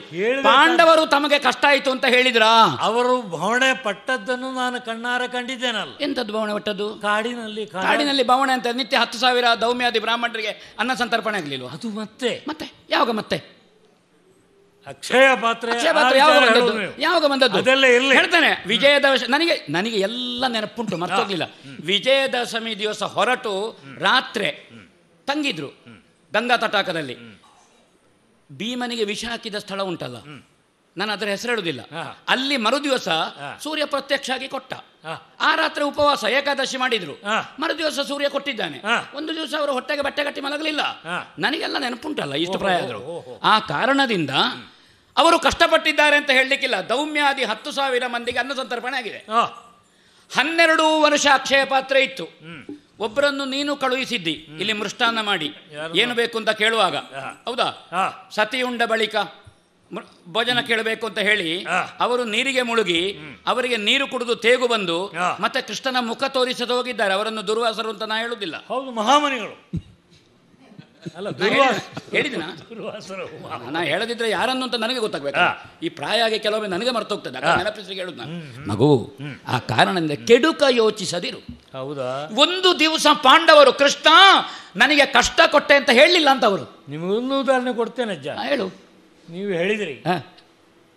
ಈ ಅಗ್ನಿ ವಿಷ ಹಾಕಿದ್ದು ವಿಚಾರ ಹೇಳಿದ್ರಲ್ಲ. ಹೌದು. ಈ ಅಗ್ನಿಯಿಂದ ಲಾಕ್ಷಾಗ್ರಹದಲ್ಲಿ ಉರಿ ಹೌದು ಹೌದು.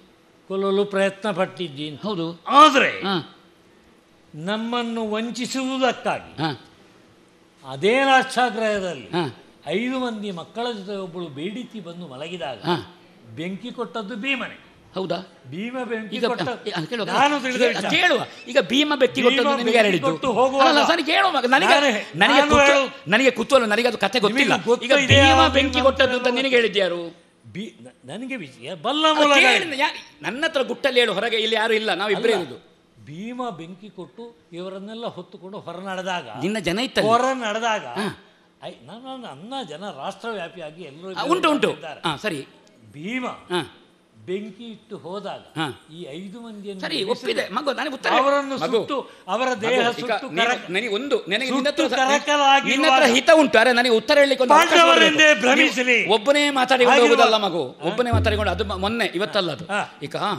ಈಗ ಬೀಜ ಭೀಮ ಬೆಂಕಿ ಕೊಟ್ಟದ್ದು ಅಂತ ನಿನ್ನ ಜನ ಇತ್ತು ನೋಡ್ಲಿಕ್ಕೆ. ನಿನ್ನ ಜನವೇ ಆ ಬ- ಇದು ಬಿಡಿಸಲಿಕ್ಕೆ ಆಗ್ತಿರ್ಲಿಲ್ವೋ? ಭೀಮ ಬೆಂಕಿ ಕೊಡುವಾಗ ನೋಡ್ಲಿಕ್ಕಿದ್ದ ನಿನ್ನ ಜನ ಆ ಅವರನ್ನು ರಕ್ಷಿಸಿತ ಭಿಕ್ಷುಕರನ್ನು ಅವರನ್ನು ರಕ್ಷಣೆಗೆ ಬಿಟ್ಟು ನಾನು ಕೊಟ್ಟ ಕೆಲಸವನ್ನು ಮಾಡುವಂಥ ದೂತರವರು ಅವರಿಗೆ ಕೊಟ್ಟ ಕೆಲಸವನ್ನು ಮಾತ್ರ ಮಾಡುವುದು ಹೊರತು ಹಾ. ರಕ್ಷಣೆಗಿದ್ದ ವ್ಯಕ್ತಿಗಳಲ್ಲ ಹಾ. ಏನೇನು ನಮ್ಮ ರಾಷ್ಟ್ರದಲ್ಲಿ ನಡೀತದೆ ಎಲ್ಲೆಲ್ಲಿ ನಡೀತದೆ. ಇಷ್ಟನ್ನು ತಿಳಿದು ಬರಬೇಕು ಹಾ. ಎಂದಾಗ ಆಗ ಭೀಮ ನಾನು ಹೇಳ್ತೇನೆ ಅದಕ್ಕೆ ಉತ್ತರ ನಾನು ಹೇಳ್ತೇನೆ ಹಾಗಿಂತ ಪಾಂಡವ ಪಾಂಡವರು ಅರಗಿನ ಮನೆಯಿಂದ. ಬದುಕಲಿಕ್ಕೆ ಅವರಿಗೆ ಉಪಕಾರ ಮಾಡಿದವ ವಿದುರ. ಗುಟ್ಟಲ್ಲ. ಆ ಗುಟ್ಟಿಗೆ ಹೇಳ್ತಾನೆ. ಆ ವಿದುರನ ಜನ ನೋಡಿತಂತೆ ಆ ಭಿಕ್ಷುಕರನ್ನು ನಿನ್ನ ಜನವೇ ಬೆಂಕಿಗೆ ದುಡಿ ಹಾಕಿದಂತೆ. ಯಾಕಪ್ಪ? ಯಾಕಂದ್ರೆ ನನಗೆ ಗೊತ್ತಿಲ್ಲ. ಪಾಂಡವನ ಮೇಲೆ ನೀನು ಹೀಗೆ ಆರೋಪ ಮಾಡಬೇಕಲ್ಲ ರಾಜಕೀಯದ್ದು. ಅದಕ್ಕೆ ಆ ಮಲಗಿದ ಭಿಕ್ಷುಕರು ಬೆಂಕಿ ಬೀಳುವಾಗ ಎದ್ದು ಓಡ್ಲಿಕ್ಕೆ ಪ್ರಯತ್ನಿಸಬಟ್ಟಿದ್ರು ಆಗ ಕೌರವನಿಂದ ನಿಯೋಜಿತ. ಅಲ್ಲ ಇದು ನನ್ನ ಹೀಗೆ ಮಾತಾಡಿ ಹತ್ರ ಮಾತಾಡ್ಲಿಕ್ಕೆ ಹೊಸ ನನ್ನ ಹತ್ರ ಅಜ್ಜ ಹಾ. ನಿಮ್ಮ ಕಿವಿ ಉದು ಅವರು ವಿದುರ ವಿದುರ ಅಂತ ಹೇಳುದಲ್ಲ ವಿದುರ ನನ್ನ ನನ್ನ ಕಿವಿ ಊದಿದ್ದಾನೆ ನಿನ್ನ ಅಪ್ಪನ ಕಿವಿ ವಿದುರ ಊದಿದ್ದಾನೆ ಅಂತ ಆಗ್ತದೆ ಸತ್ಯವಾಗಿ ಹೇಳ್ತೇನೆ ಅಜ್ಜ. ಹಾ ಈಗ ಸತ್ಯ ಹೇಳು. ಪಾಂಡವ ದ್ವೇಷ ಹೊರತು ಒಬ್ಬ ನಿಷ್ಪಾಪಿಗಳಿಗೆ ಬೆಂಕಿ ಕೊಟ್ಟು ಸಾಯಿಸಲಿಕ್ಕೆ ಆಜ್ಞೆ ಮಾಡುವಷ್ಟು. ಹಾ. ದುಷ್ಟನು ನೀ ದುಷ್ಟ ಅಲ್ಲ, ನೀ-. ನೀನ- ಇದು ಅರ್ಥ ಮಾಡಿ. ನೀನು- ಪಾಂಡವ ದ್ವೇಷ ಇದು ಒಂದೇ ನನ್ನಲ್ಲಿ. ಕೊರತೆ. ನಾನು ಯಾಕೆ ಹೇಳಿದೆ ಗೊತ್ತಂಡ ಅದು ಬಿಟ್ಟು ಅಲ್ಲ. ನಿನ್ನ ಜನ ಬೆಂಕಿ ಕೊಟ್ಟು ಸುಡಿಸಿದ್ದು. ನಿನ್ ನೀನು ಅಲ್ಲ? ನೀನು ಯಾರ್ಯಾರಿಗೆ ನೀ ಅನ್ನ ಹಾಕಿದ್ದಿ? ಹಾ ಅವರೆಲ್ಲ ಕೆಟ್ಟದ್ದು ಮಾಡಿದ್ದು. ಸೈಂಧವನನ್ನು ಇಲ್ಲಿ ಬೆಳೆಸಿದ್ದೆ ನೀನು ಅನ್ನ ಹಾಕಿ. ಬಾವ ಕಾಡಿನಲ್ಲಿ ದ್ರೌಪದಿ? ಸರಿ ಕಾಡಿನಲ್ಲಿ ದ್ರೌಪದಿಯ ಸೀರೆ ಒಬ್ಬ ಸೋದರ ಮಾವ ನೀನು ಒಂದು ನಾನು ಮಾತಾಡಬೇಕು ಇಲ್ಲದಿದ್ದರೆ ನೀನು. ಪೂರ್ತಿ ಮಾಡುವ. ಇಲ್ಲದ ಈಗ ನಿಲ್ಲಿಸ್ತೇನೆ ಬೇಗ ಮಾತಾಡಿ. ಬೇಗ ಮಾತಾಡ್ಲಿಕ್ಕೆ ಹೇಳಿಗೆ ನೀನಲ್ಲ. ನನ್ನ ಮನೆಗೆ ನನ್ನ ಮನೆಗೆ ನೀ ಬಂದದ್ದು. ಅದಕ್ಕೆ ನನಗೆ ನಿದ್ರೆ ನನಗೆ ನಿದ್ರೆ ಬಂಗಾಗುದಿಲ್ಲ ನಿದ್ರಾಭಂಗಕ್ಕೆ ನಾನು ಕಾರಣಕರ್ತನ. ನೀನು ಕಾರಣಕರ್ತ ನನಗೆ ನಿದ್ರೆ ಇನ್ನೆರಡು ದಿವಸ ಮಾತಾಡಿ ನಾನು. ಹೌದೌದು. ಮಗು ಮಾತಾಡ್ಲಿಕ್ಕೆ ಎಷ್ಟು ಅಲ್ಲ? ಬೇಕಾದ್ದನ್ನು. ಅದು? ಈಗ ದ್ರೌಪದಿಯ ಸೀರೆಗೆ ಮೊಳ ಹಾಕಲಿಕ್ಕೆ ನೀ ಹೇಳಿದ್ದ ನಿನ್ನ ಸೈನ್ಯವನ ಹತ್ರ? ನೀ ಹೇಳಿದ್ದ. ಹೇಳಿ ನೀವೇ ಹೇಳಿ ಅಲ್ಲ ನಾ ಹೇಳಿದ ನೀ ಹೇಳಿದ್ದ ಅಂತ ನಾ ಹೇಳಿದಲ್ಲ ಹೇಳಿ ನೀವು ಹೇಳುದು ನಿನ್ನ ನಿನ್ನ ಅನ್ನದಿಂದ ಜನರು ಎಂಥದ್ದು ಮಾಡ್ತಾರೆ. ಹಾಗೆ ಲಾಕ್ಷಾಗ್ರಹದಲ್ಲಿ ಭಿಕ್ಷುಕರನ್ನು ಬೆಂಕಿಗೆ ನೂಕಿದ್ದು ನಿನ್ನ ಜನ ಅಂತ ನನಗೆ ಸುದ್ದಿ. ಅದಕ್ಕೆ ಗೊತ್ತರ ಹೇಳು. ನಿಮಗೆ ಸುದ್ದಿ? ನನಗೆ ಪ್ರತ್ಯಕ್ಷ ದರ್ಶಿ ಎಂತ ಏನಂತ ಹೇಳಿದ್ದು ಭೀಮನೇ ಬೆಂಕಿ ಕೊಟ್ಟು ಅವರನ್ನು ಭೀಮ ಬೆಂಕಿ ಕೊಟ್ಟದ್ದು ಹೌದು ಪುಣ್ಯಾತ್ಮ. ಈ ಐದು ಮಂದಿ ಸತ್ತು ಹಾ. ನಾವು ಪಾಂಡವರೆಂದೇ ಭ್ರಮಿಸಿ ಪಾಂಡವರಿಗೆ ಶಾರ್ದಗಳನ್ನು ಮಾಡಿದ್ದು ಸೂತಕ ಆಚರಣೆ ಮಾಡಿದ್ದು. ನೀನು ಯಾರನ್ನು ಹೀಗೆ ಮಾಡುವ ಪಾಂಡವರನ್ನು ಕೊಲ್ಲಿಕ್ಕೆ ಯಾರನ್ನು ನೇಮಿಸಿದ್ದಿ. ಅವರು ನಿನ್ನ ಜನಗಳೇ ಸರಿಯಾಗಿ ಉದ್ಯೋಗ ಮಾಡಲಿಲ್ಲ ನೆನಪಿಟ್ಟುಕೋ ನೀನು. ಹೌದಾ? ನಿನ್ನನ್ನು ವಂಚಿಸಿದ್ದಾರೆ. ನಿನಗೆ ಇಷ್ಟರಿಗೆ ಅದೇ ಗೊತ್ತಿಲ್ಲ. ಇನ್ನು ನಿನಗೆ ಸಂಶಯ ಇರುವುದು ಜನತ್ರ ಹೌದಾ? ಕೆಡುಕ ಯೋಚಿಸದಿರು. ಆ, ಸತ್ಯ ಮಾರ್ಗಗಳನ್ನು ಹಿಡಿದು ಹ್ಮ್. ಅನುದ್ಯೂತದಲ್ಲಿ ಸೋತವರಿಗೆ ಹನ್ನೆರಡು ವರ್ಷ ವನವಾಸ ಒಂದು ವರ್ಷ ಅಜ್ಞಾತವಾಸ. ಮರಳಿ ಹೋಗುವುದು ತಮ್ಮ ಪಟ್ಟಣವ. ಅದನ್ನು ಸಾಂಗವಾಗಿ ನೆರವೇರಿಸಿ ಅದನ್ನು ಒಂದು ಯಜ್ಞ ಅಂತ ಅಂಗೀಕರಿಸಿ. ಅದನ್ನೆಲ್ಲ ಮುಗಿಸಿ ಬಂದರು. ಪಾಂಡವರು. ಅಲ್ಲಿಯೂ ಹಾಗೆ. ಎಲ್ಲಿ ಎಲ್ಲಿ ಪಾಂಡವರನ್ನು ಪತ್ತೆ ಹಚ್ಚುವುದಕ್ಕೆ ನೀವು ಪ್ರಯತ್ನಿಸಿದ್ದೀರಿ ಎಲ್ಲ ಕಡೆಯಲ್ಲಿಯೂ ನಿಮಗೆ ಆಗಲಿಲ್ಲ. ಅವರ ಸತ್ಯವರನ್ನು ಉಳಿಸಿತು. ಅಜ್ಜ. ಮಗು ಎಲ್ಲಿ ಎಲ್ಲಿ ಸತ್ಯ ಉಳಿಸಿತು? ನಹುಷ ಪ್ರಶ್ನೆಯಲ್ಲಿ ಪೂರ್ವಪಿತೃವಾದಂತಹ ನಹುಷನು ಅಜಗರದಿಂದ ಮುಕ್ತನಾದ. ಹೌದಪ್ಪ. ಯಕ್ಷ ಪ್ರಶ್ನೆಯಲ್ಲಿ ಯಮಧರ್ಮನ ಅನುಗ್ರಹ ಆಯಿತು. ಅಜ್ಞಾತವಾಸಕ್ಕೆ ಹೋಗುವಾಗ ದುರ್ಗಾದೇವಿಯ ಪ್ರಾರ್ಥನೆ ಮಾಡಿ ನಿಜ ವೇಷದಲ್ಲಿದ್ರು ನಿಮ್ಮನ್ನು ಪರಿಚಯ ಸಿಗಲಿಕ್ಕೆ ಆಗೋದಿಲ್ಲ ಅಂತ ದುರ್ಗಾನುಗ್ರಹ ಆಯಿತು. ಹೌದಾ? ಮತ್ತೆ ಅಜ್ಞಾತವಾಸಕ್ಕೆ ಹೋದ ಧರ್ಮರಾಯ ಅದಿತ ಆದರೆ ಆದ್ರೆ ಈ ಒಂದೇ ಹಸ್ತದ ಐದು ಬೆರಳುಗಳ ಹಾಗೆ ಹಾ. ಭೀಮಾರ್ಜುನರಿದ್ದಾರಲ್ಲ. ಅವರನ್ನು ಪ್ರತ್ಯೇಕಿಸಲಿಕ್ಕೆ ಸಾಧ್ಯ ಇಲ್ಲ. ಅವರಂ ಭೀಮನನ್ನು ನನಗೆ ಸಂತೋಷ ಆಯಿತು. ಭೀಮನನ್ನು ಕಂಡ್ರೆ. ನೀನು ನಿಷ್ಪಾಂಡವ ಪೃಥ್ವಿ ಅಂತ ಹೇಳಿದ ನನ್ನ ಇಷ್ಟು ಮಾತಿನಲ್ಲಿ ಧರ್ಮರ ಆಯಿತು ಅಂತ ಒಪ್ಪಿದೆಯೋ? ಇನ್ನು ಉಳಿದ ನಾಲ್ಕರನ್ನು ಒಪ್ಪಿಸ್ತೇನೆ ನಾನು. ಹೇಳು ಅಜ್ಜ. ಇಷ್ಟು ಮಾತಾಡಿದ್ರೆ ಎರಡು ದಿವಸ ಮಾತಾಡಿ ಅಜ್ಜ. ಮಗು. ಆ ಕಾರಣದಿಂದ ಅದನ್ನು ಆ ಕಾರಣದಿಂದ ನೀವು ಕೆಡುಕ ಯೋಚಿಸದಿರು. ಅಲ್ಲ. ಹೇಳ್ತೇನೆ ಹೇಳಿ ಮುಗಿಸ್ತೇನೆ. ಸತ್ಯ ಮಾರ್ಗವನ್ನು ಹಿಡಿದು ಒನಕವರು ಹೋದರು. ಆ, ಮಗು ಎಲ್ಲ ಕಡೆಯಲ್ಲಿಯೂ ಎಲ್ಲಿ ಎಲ್ಲಿ ಕೃಷ್ಣವರನ್ನು ರಕ್ಷಿಸಬೇಕಾಗ್ತಾರೆ ರಕ್ಷಿಸಿದ್ದಾನೆ. ಹಾ. ಈಗ ಕೃಷ್ಣ ಹೇಳಿದ್ದನ್ನು ನೀನು ಕೇಳ್ತಿದ್ರೆ ನಿನಗೆ ಲಾಭ ಇತ್ತು ಅಂತ. ಓಹೋ. ಅರ್ಧ ರಾಜ್ಯ ಕೇಳಿದ. ಕೊಡುದಿಲ್ಲ ಅಳಿಗೆ. ಹಾ, ಐದು ಗ್ರಾಮ. ಐದು ಗ್ರಾಮವನ್ನು ಕೊಡುತ್ತಿದ್ರೆ ಅವರ ಅರ್ಧ ರಾಜ್ಯ ನಿನ್ನದ್ದು ಉಳಿತಿತ್ತು. ಅದು ಇಲ್ಲದ್ರೆ ಒಂದು ಗ್ರಾಮದಲ್ಲಿ ಐದು ಮನೆ. ಕಂಚಿದೆ ಕಂಚಿದೇಕಂ ಪಂಚಮ. ಕಂಚಿದೇಕ ಪಂಚಮ ಅಂದ್ರೆ ಒಂದು ಅಂತ ಅರ್ಥ ಅಲ್ಲ ನಾಲ್ಕು ಅವ ಹೇಳಿದ್ದು ಮತ್ತೆ ಐದನೆಯದ್ದು ಯಾವುದಾದ್ರೂ ಒಂದು. ಕಂಚಿದೆ ಪಂಚಮ ಕಾರಣ. ಮಗು ಮಗು ಮಗು ಮಗು. ಹಾಗಾದ ಕಾರಣ ನಾನು ಒಂದು ಆರತಿ ಎತ್ತಿದ್ರೆ ಅದನ್ನು ವಿಸರ್ಜನೆ ಮಾಡದೆ ಇಡುದೇ ಹೌದು. ಮಗು ಆ ಕಾರಣದಿಂದ ಒಂದು ವೇಳೆ ನೀ ಕೊಡ್ಲಿಲ್ಲ ಈಗ ಆವಾಗ ನಿನ್ನದ್ದನ್ನು ಸೇರಿಸಿ ಅವರ ಅರ್ಧ. ಐದು ಗ್ರಾಮ ನಿನ್ನದ್ದು ಹಸ್ತಿನಾವತಿ ಸಂಪೂರ್ಣ ಪಾಂಡವರಿಗೆ ಕೊಡಿಸದೆ ಬಿಡನು. ಆಗ ನಷ್ಟ ಯಾರಿಗೆ ಕೃಷ್ಣ ಕೇಳುವಾಗ ಐದು ಗ್ರಾಮ ಕೊಟ್ಟು ನೀನು ಗೆಲ್ಲುವುದು ಒಳ್ಳೆದಾ. ಈಗ ಯುದ್ಧ ಮಾಡಿ ಎಲ್ಲ ಕಳ್ಕೊಳ್ಳೋದು ಒಳ್ಳೆದಾ? ಈ ಧರುಣಿಯ ಮೇಲೆ ವ್ಯಾಮೋಹವೇ?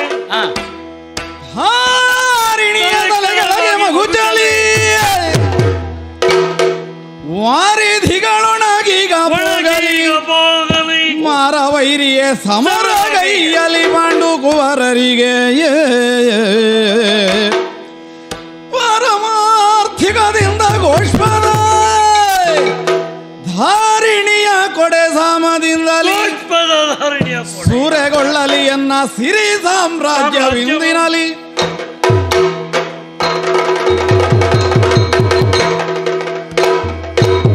ಅಜ್ಜ ಓ. ಈ ಧರುಣಿಯ ಮೇಲೆ ಭೂಮಿಯ ಮೇಲೆ ನನಗೆ ಆಸೆ ಇದೆ. ಲಾಭ ನಷ್ಟ ಎಂದು ಲೆಕ್ಕಾಚಾರ ಮಾಡುವಂತ ವೀರ ಕ್ಷತ್ರಿಯ ನಾನು. ಮಾಡುವವನಲ್ಲ. ಅದರಿಂದ ಆದ್ರಿಂದ. ಯೋಚನೆ ಮಾಡಬೇಕು. ನನ್ನ ನಿರ್ಧಾರ ಎಷ್ಟು ನಿಶ್ಚಯ ಆಗಿದೆ ಎಷ್ಟು ಅಚಲವಾದ ನಿರ್ಧಾರ ಎಂಬುದಾಗಿ. ಕೃಷ್ಣನಲ್ಲಿ ಅಂತಿಮವಾಗಿ ರಣವಿಲ್ಯ ಕೊಟ್ಟಾಗಲಿ ನಿರ್ಧಾರ. ನೀವು ಈಗ ಬೋಧನೆ ಮಾಡುವುದು ಅಥವಾ ಪಾಂಡವರ ಆ ಧರ್ಮಕ್ರಮವನ್ನು ತಿಳಿಸುವಂತದ್ದು ಹ್ಮ್. ಇದೆಲ್ಲ ನಿಷ್ಪ್ರಯೋಜಕ. ಬೋಧಕನು ಅಗತ್ಯ ಬಿದ್ದರೆ ಮಾತ್ರ ಬೋಧನೆ ಮಾಡಬೇಕು. ಹೌದು ಈಗ ಕೈಮೀರಿ ಹೋಗಿದೆ. ಇದು ನನ್ನ ದೃಢ ನಿಶ್ಚಯ. ನನ್ನ ನಿಶ್ಚಯ ಏನು ಗೊತ್ತೇ? ಏನು? ತರುಣಿಯೇ ತಲೆ ಕೆಳಗಾಗಿ ಮಗುಚಾಲಿ ವಾರಿದಿಗಳು ಒಣಗೀಗ ಹೋಗಲಿ ಸಪ್ತ ಸರದಿಗಳೇ ಬತ್ತಿ ಹೋದರು. ಮೇರು ಪರ್ವತವೇ ತನ್ನ ಔನ್ನತ್ಯವನ್ನು ಕಳೆದುಕೊಂಡರು ಪಾಂಡವರಿಗೆ ಸಾಮದಿಂದ ಕೈ ಎತ್ತಿ ಗೋವಿನ ಪಾದ ಆಕ್ರಮಿಸುವಷ್ಟು ಜಾಗವನ್ನು ಕೈ ಎತ್ತಿ ಕೊಡಲಾರೆ ನಿಶ್ಚಯ ನಿಶ್ಚಯ ನಿಶ್ಚಯ. ಬೇಕಿದ್ರೆ ಸೂರ್ಯಗಳಲ್ಲಿ ಎನ್ನ ಸಿರಿ ಸಾಮ್ರಾಜ್ಯವನ್ನು. ಈ ಹಸ್ತಿನಾಮತಿಯ ಸಾಮ್ರಾಟ್ ಸಿಂಹಾಸನ ಎಲ್ಲವೂ ಪಾಂಡವರೇ ಆಗಲಿ ಒಂದು ಪಾಂಡವರು ಒಂದು ಕೌರವರು. ಇದು ನಿರ್ಣಯ ಆಗಲಿ ಅಂತ ಯುದ್ಧ. ಹುಡುಗಾಟಿಗೆ ಮಾತಾಡ್ತೀಯಲ್ಲ. ಕರಳ! ತರಳಲಿದು ಧರ್ಮ ಜಾತನು ಪರಮ ಸಜ್ಜನ! ಸದ್ಗುಣಕರ.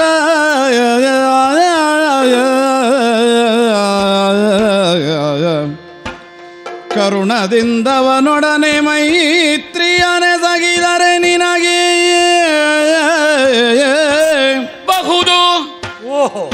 ಸಹವಾಸ ಗುಣದೊಳು ಧರೆಯೊಳಗೆ ಸತ್ಕೀರ್ತಿ ಸಹನೆಗಳು.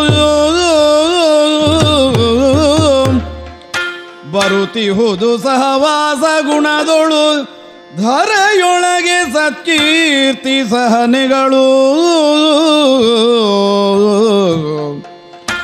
ಒರೆಯುವೆನು ಕರ್ಣಾದಿ ಮೂರ್ಖರ ನುಡಿಯ ಕೇಳದಿರು. ತರಳ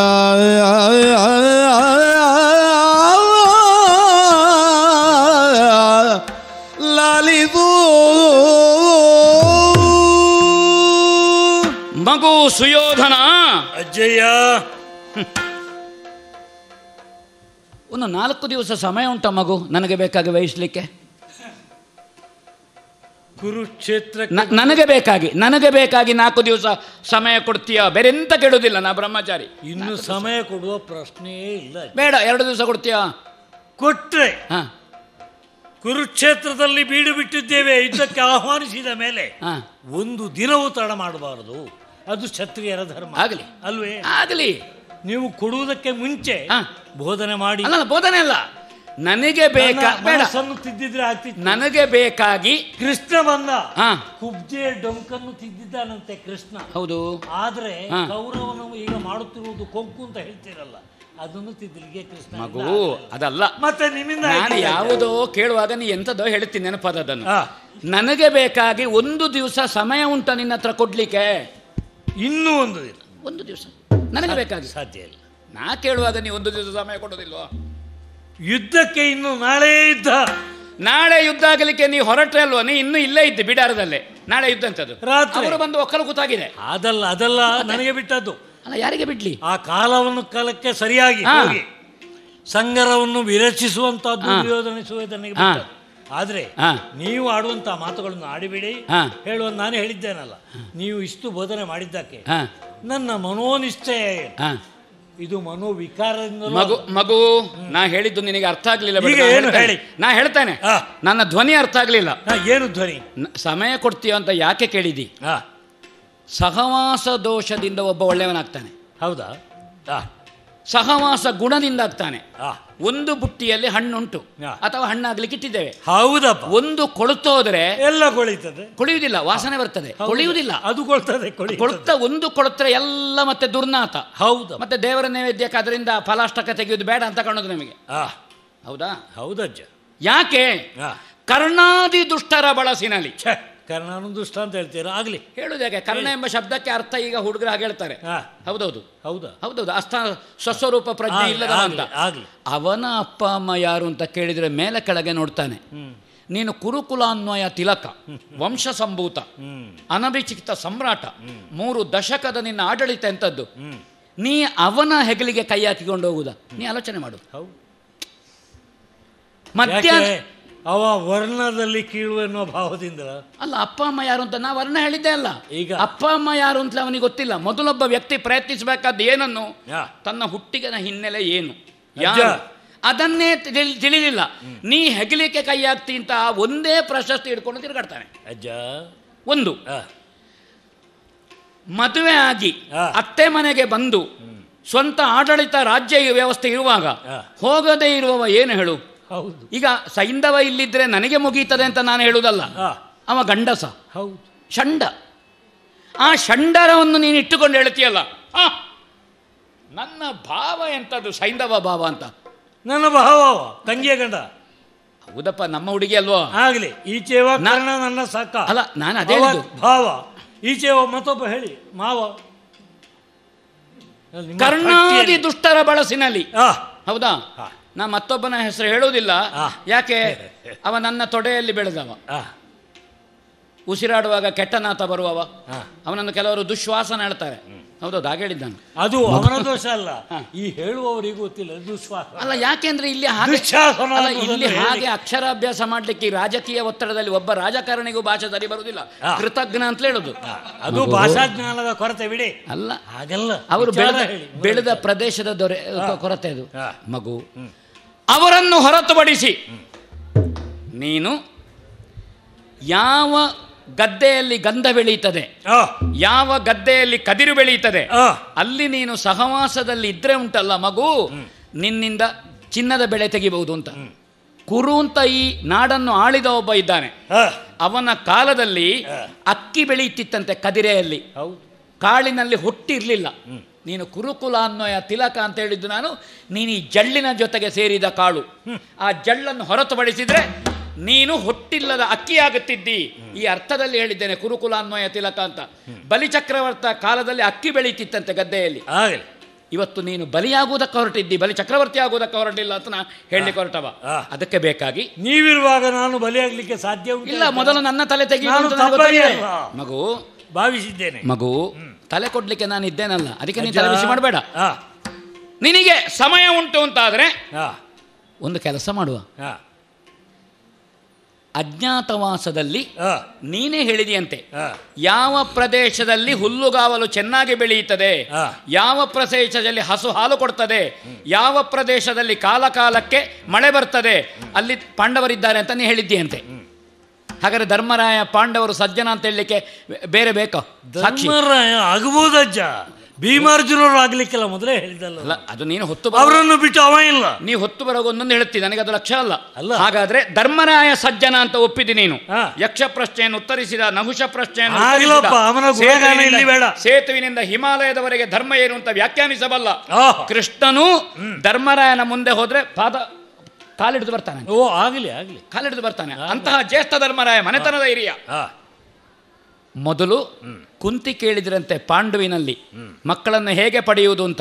ವೃತ ಮಾಡಿ ಯಮಧರ್ಮನ ಉಪಾಸನೆಯನ್ನು ಇಬ್ರು ಮಾಡಿದ್ರು. ಸಾಕ್ಷಾತ್ ಯಮಧರ್ಮನ ಅಪರಾವತಾವರಾಗಿ ಧರ್ಮರಾಯ ಬಂದಿದ್ದಾನೆ ಪರಮ ಸಜ್ಜನ ಕುಂತಿ ವರ ವರ- ಎಷ್ಟು ವರ ಪಡೆದಿದ್ದಾಳಜ್ಜ ಅದನ್ನು ನೀನು ಸಮಯ ಇರುವಾಗ ವಿದುರನ ಮನೆಗೆ ಹೋಗಿ ಕೇಳು. ಹೇಳು ವಿದುರನ ಮನೆಗೆ ಕೇಳು. ಅದಕ್ಕೆ ನಾನು ಉತ್ತರ ಹೇಳಬೇಕಾದ ನಿನ್ನ ಎಲ್ಲ ನಿನ್ನ ಎಲ್ಲ ಪ್ರಶ್ನೆ ನಿನ್ನ? ಎಲ್ಲ ಪ್ರಶ್ನೆಗೆ ಉತ್ತರ ಕೊಟ್ಟಿದ್ದ ನಿನ್ನ ಎಲ್ಲ ಪ್ರಶ್ನೆಗೆ ಅದನ್ನು ಕುಂತಿ ಹತ್ರ ಕೇಳು. ನನ್ನ ನಿನ್ನ ಎಲ್ಲ ಪ್ರಶ್ನೆಗೆ ಉತ್ತರ ಹೇಳಲಿಕ್ಕೆ ನೀವು. ಅವಳ ವಿಚಾರವನ್ನು ನೀವು ಪ್ರಕಟ ಮಾಡುವ. ನಿಮ್ಮಷ್ಟು ತಿಳಿದವರು ಈ ಪ್ರಪಂಚದಲ್ಲಿ ಯಾರೂ ಇಲ್ಲ. ಕುಂತಿ ಐದು ವರ ಮಾತ್ರ. ಕುಂತಿ ವರ ಪಡೆದದ್ದು ಎಷ್ಟು? ನಾನು ಇನ್ನೂ ಕುಂತಿ ಹತ್ರದನ್ನು ಕೇಳಲಿಲ್ಲ. ಕೇಳಲಿಲ್ಲ. ಇಲ್ಲ ಇಲ್ಲ ಇಲ್ಲ. ಆ ವರ ಒಂದು ಆ ವರವನ್ನು ಕೇಳಿದ್ರು ನಿನ್ನ ಹತ್ರ ಹೇಳಬೇಕಾದ ಬದ್ಧತೆ ನನಗಿಲ್ಲ. ಹೇಳಬೇಕು ನೀವು ಹೇಳಿದ ವಿಚಾರ ನಾನು ಯಾವುದನ್ನು ಹೇಳಬೇಕು ಅದನ್ನು ಹೇಳ್ತೇನೆ ಯಾವುದನ್ನು ಹೇಳಲೇಬಾರದೋ. ಹೇಳಬೇಕಾಗಿಲ್ಲ ನನಗೆ ಸ್ವಾತಂತ್ರ್ಯ ಉಂಟು. ಮಗು ಚಿತ್ರಸೇನ ಕಾಳಗದಲ್ಲಿ ನಿನಗೆ ಪೆಟ್ಟು ಬಿದ್ದು ನೀನು ಸೊಂಟ ಮುರಿದು ಬಿದ್ದಾಗ ಹೌದಾ? ನಿನ್ನ ಬಂಧನ ವಿಮೋಚನೆಗೆ ಭೀಮಾರ್ಜುನರು ನಿಷೇಧ ಇಲ್ಲ ಅಂತ ಹೇಳುವಾಗ ನೀವು ಕೌರವನ ಬಂಧನ ವಿಮೋಚನೆ ಮಾಡದೇ ಇದ್ದೆ ಗೋಗ್ರಾಸ ಕೊಟ್ಟು ಮಧ್ಯಾಹ್ನ ಹಸ್ತೋದಕ ಸ್ವೀಕರಿಸುವುದಿಲ್ಲ ಅಂತ ಪ್ರಾಯೋಪವೇಶಕ್ಕೆ ಸಿದ್ಧನಾದ ಅಷ್ಟು ನಿನಗೆ ಸಜ್ಜನಿಕೆ ಉಂಟು ಅಂತಾದ್ರೆ ಅದಕ್ಕೆ ಹೇಳಿದಲ್ಲ ಧರ್ಮರಾಯ ಆಗಬಹುದು. ಧರ್ಮರಾಯ ಆಗಬಹುದು ಅಂತ ನೀ ಹೇಳಿದ ಮೇಲೆ ಒಂದು ದಿವಸ ಧರ್ಮರಾಯನ ಸಹವಾಸ ಮಾಡು. ಆವಾಗ- ಈಗ ನೀವು ಆವಾಗ ಗುಂಡು ಸೂಜಿಯನ್ನು ಕಾಂತದ ಕಲ್ಲಿನ ಮೇಲೆ ಇಟ್ಟರೆ ಮರುದಿವಸ ಆ ಗುಂಡು ಸೂಜಿ ಇನ್ನೊಂದು ಸೂಜಿಯನ್ನು ಎತ್ತುವಾಗೆ ನಿನಗೆ ಧರ್ಮರಾಯನ ಕಾಂತತ್ವ ಸಜ್ಜನಿಕೆ ಬರ್ತದೆ. ಅದಕ್ಕಾಗಿ ಸಹವಾಸ ಗುಣ ನಿನಗೆ ಬಂದು ನೀ ಒಳ್ಳೆಯವನಾಗುತ್ತಿ. ಪಾಂಡವ ದ್ವೇಷ ನಿನ್ನಿಂದ ಹೋಗ್ತದೆ. ನೀನು ಗಂಧದಷ್ಟು ಪರಿಮಳವಲ್ಲ ಗಂಧದ ಕಡ್ಡಿ ಆಗ್ತಿ ಗಂಧದ ಮರ ಆಗುದಿಲ್ಲ. ಗಂಧದ ಕಡ್ಡಿ ಆಗ್ತಿ ನೀನು. ಒಂದು ದಿವಸ ಆದರೂ ಒಂದು ಹೊತ್ತಿಗೆ ದೇವರ ಪೂಜೆಗೆ ಇಡಬಹುದು. ಆ ಗಂಧದ ನೀವು ಹೇಳಿದ ಸವಾಸಿಗಳು ಎನ್ನನು ಪಾಂಡವರ ಪರಿಪರಿಯ ಕೀರ್ತನವನು. ಎನ್ನೊಡನೆ ಕೆರಳಿ ನುಡಿವಿರಿ ಮೇಲಕ್ಕೆ.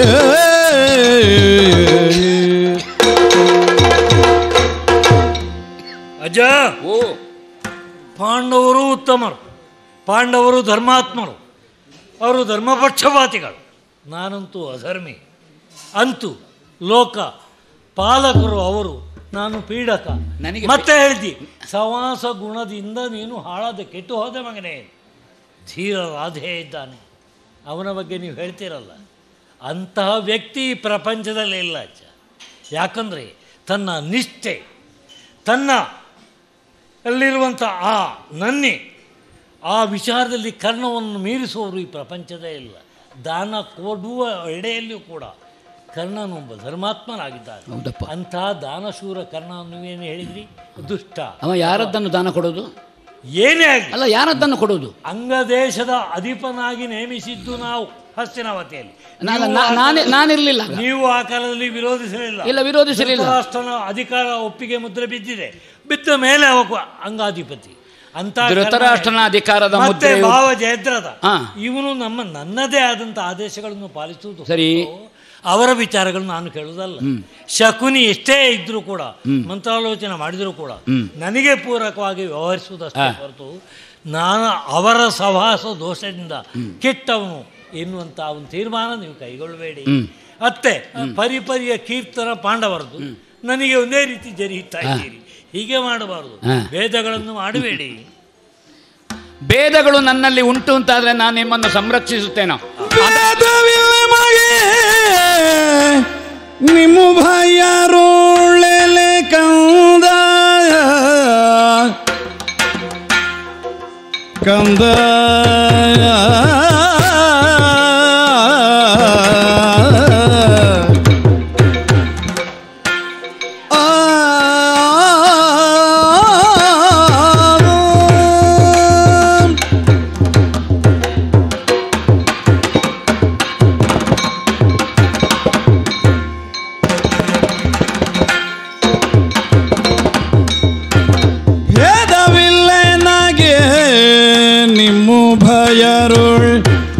ಎಲೆ ಕಂದ ಕ್ರೋಧದಿ ಸಮರಗಯ್ಯೆ ಕ್ರೋಧದಿ ಸಮರ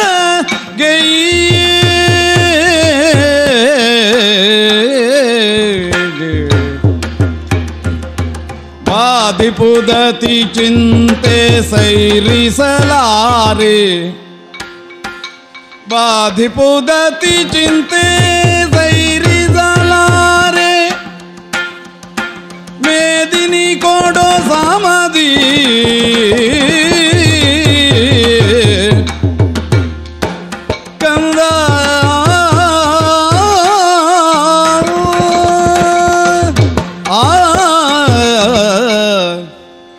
ತ್ರಿಕರಣಾಂತಕರ ಶುದ್ಧ ಭಾವದಿಂದ ನಿಮ್ಮನ್ನು ರಕ್ಷಿಸಿದ್ದೇನೆ.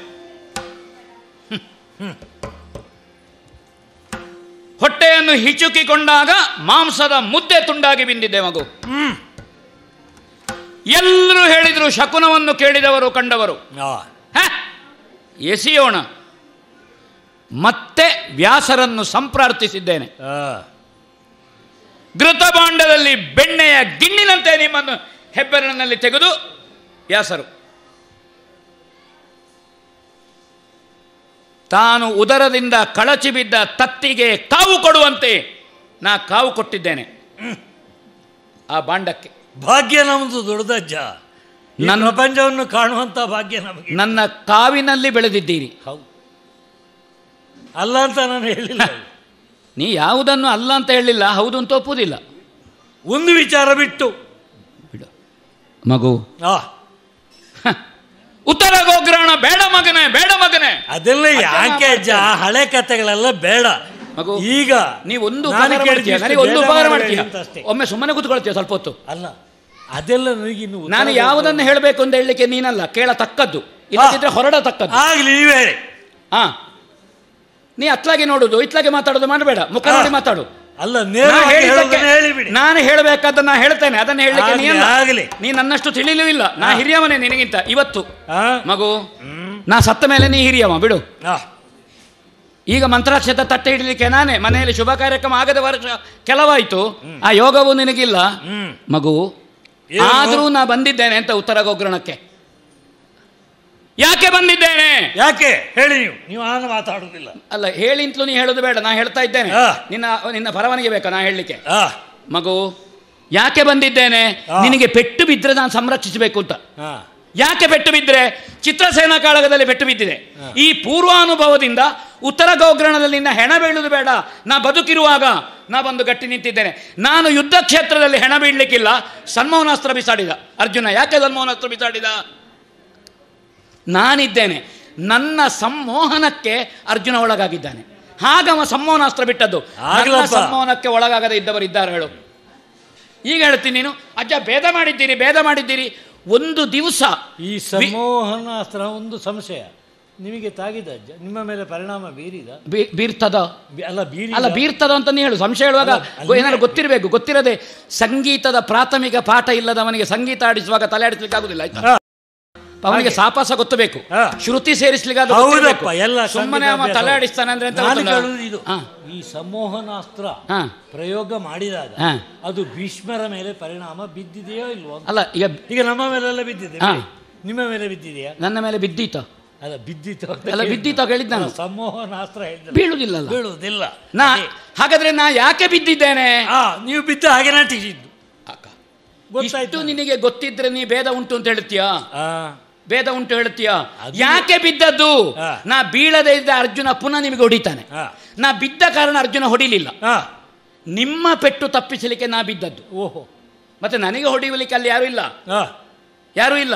ನಾನು ಅಲ್ಲಿ ಯಾರಿಗೆ ಹೊಡೆಯುವುದೂ ಇಲ್ಲ. ನೀವು ಬಿದ್ದು ನಾ ಬಿದ್ದು ನಿಮ್ಮನ್ನು ತಪ್ಪಿಸಿದ್ದು. ನಿಮ್ಮನ್ನು ತಪ್ಪಿಸಿದ್ದು ನಾನು. ಮಗು ಭೇದ ಇಲ್ಲ. ವಿದುರನು ಹೊರಟು ಹೋಗಿದ್ದಾನೆ ಕೆಲವು ದಿವಸ. ಆಗಲಿ. ಧೃತರಾಷ್ಟ್ರನ ನಿನ್ನ ನೋವಿನ ಮಾತುಗಳನ್ನು. ಒಂದು ದಿವಸ ನಾನು ಹೋಗಿದ್ದೇನೆ ಹೇಳು. ಇಷ್ಟನ್ನೆಲ್ಲ ನೋಡಿ ಸಹಿಸಿ. ತಾಳಿದವನು ಬಾಳಿಯಾನು ಮಗ.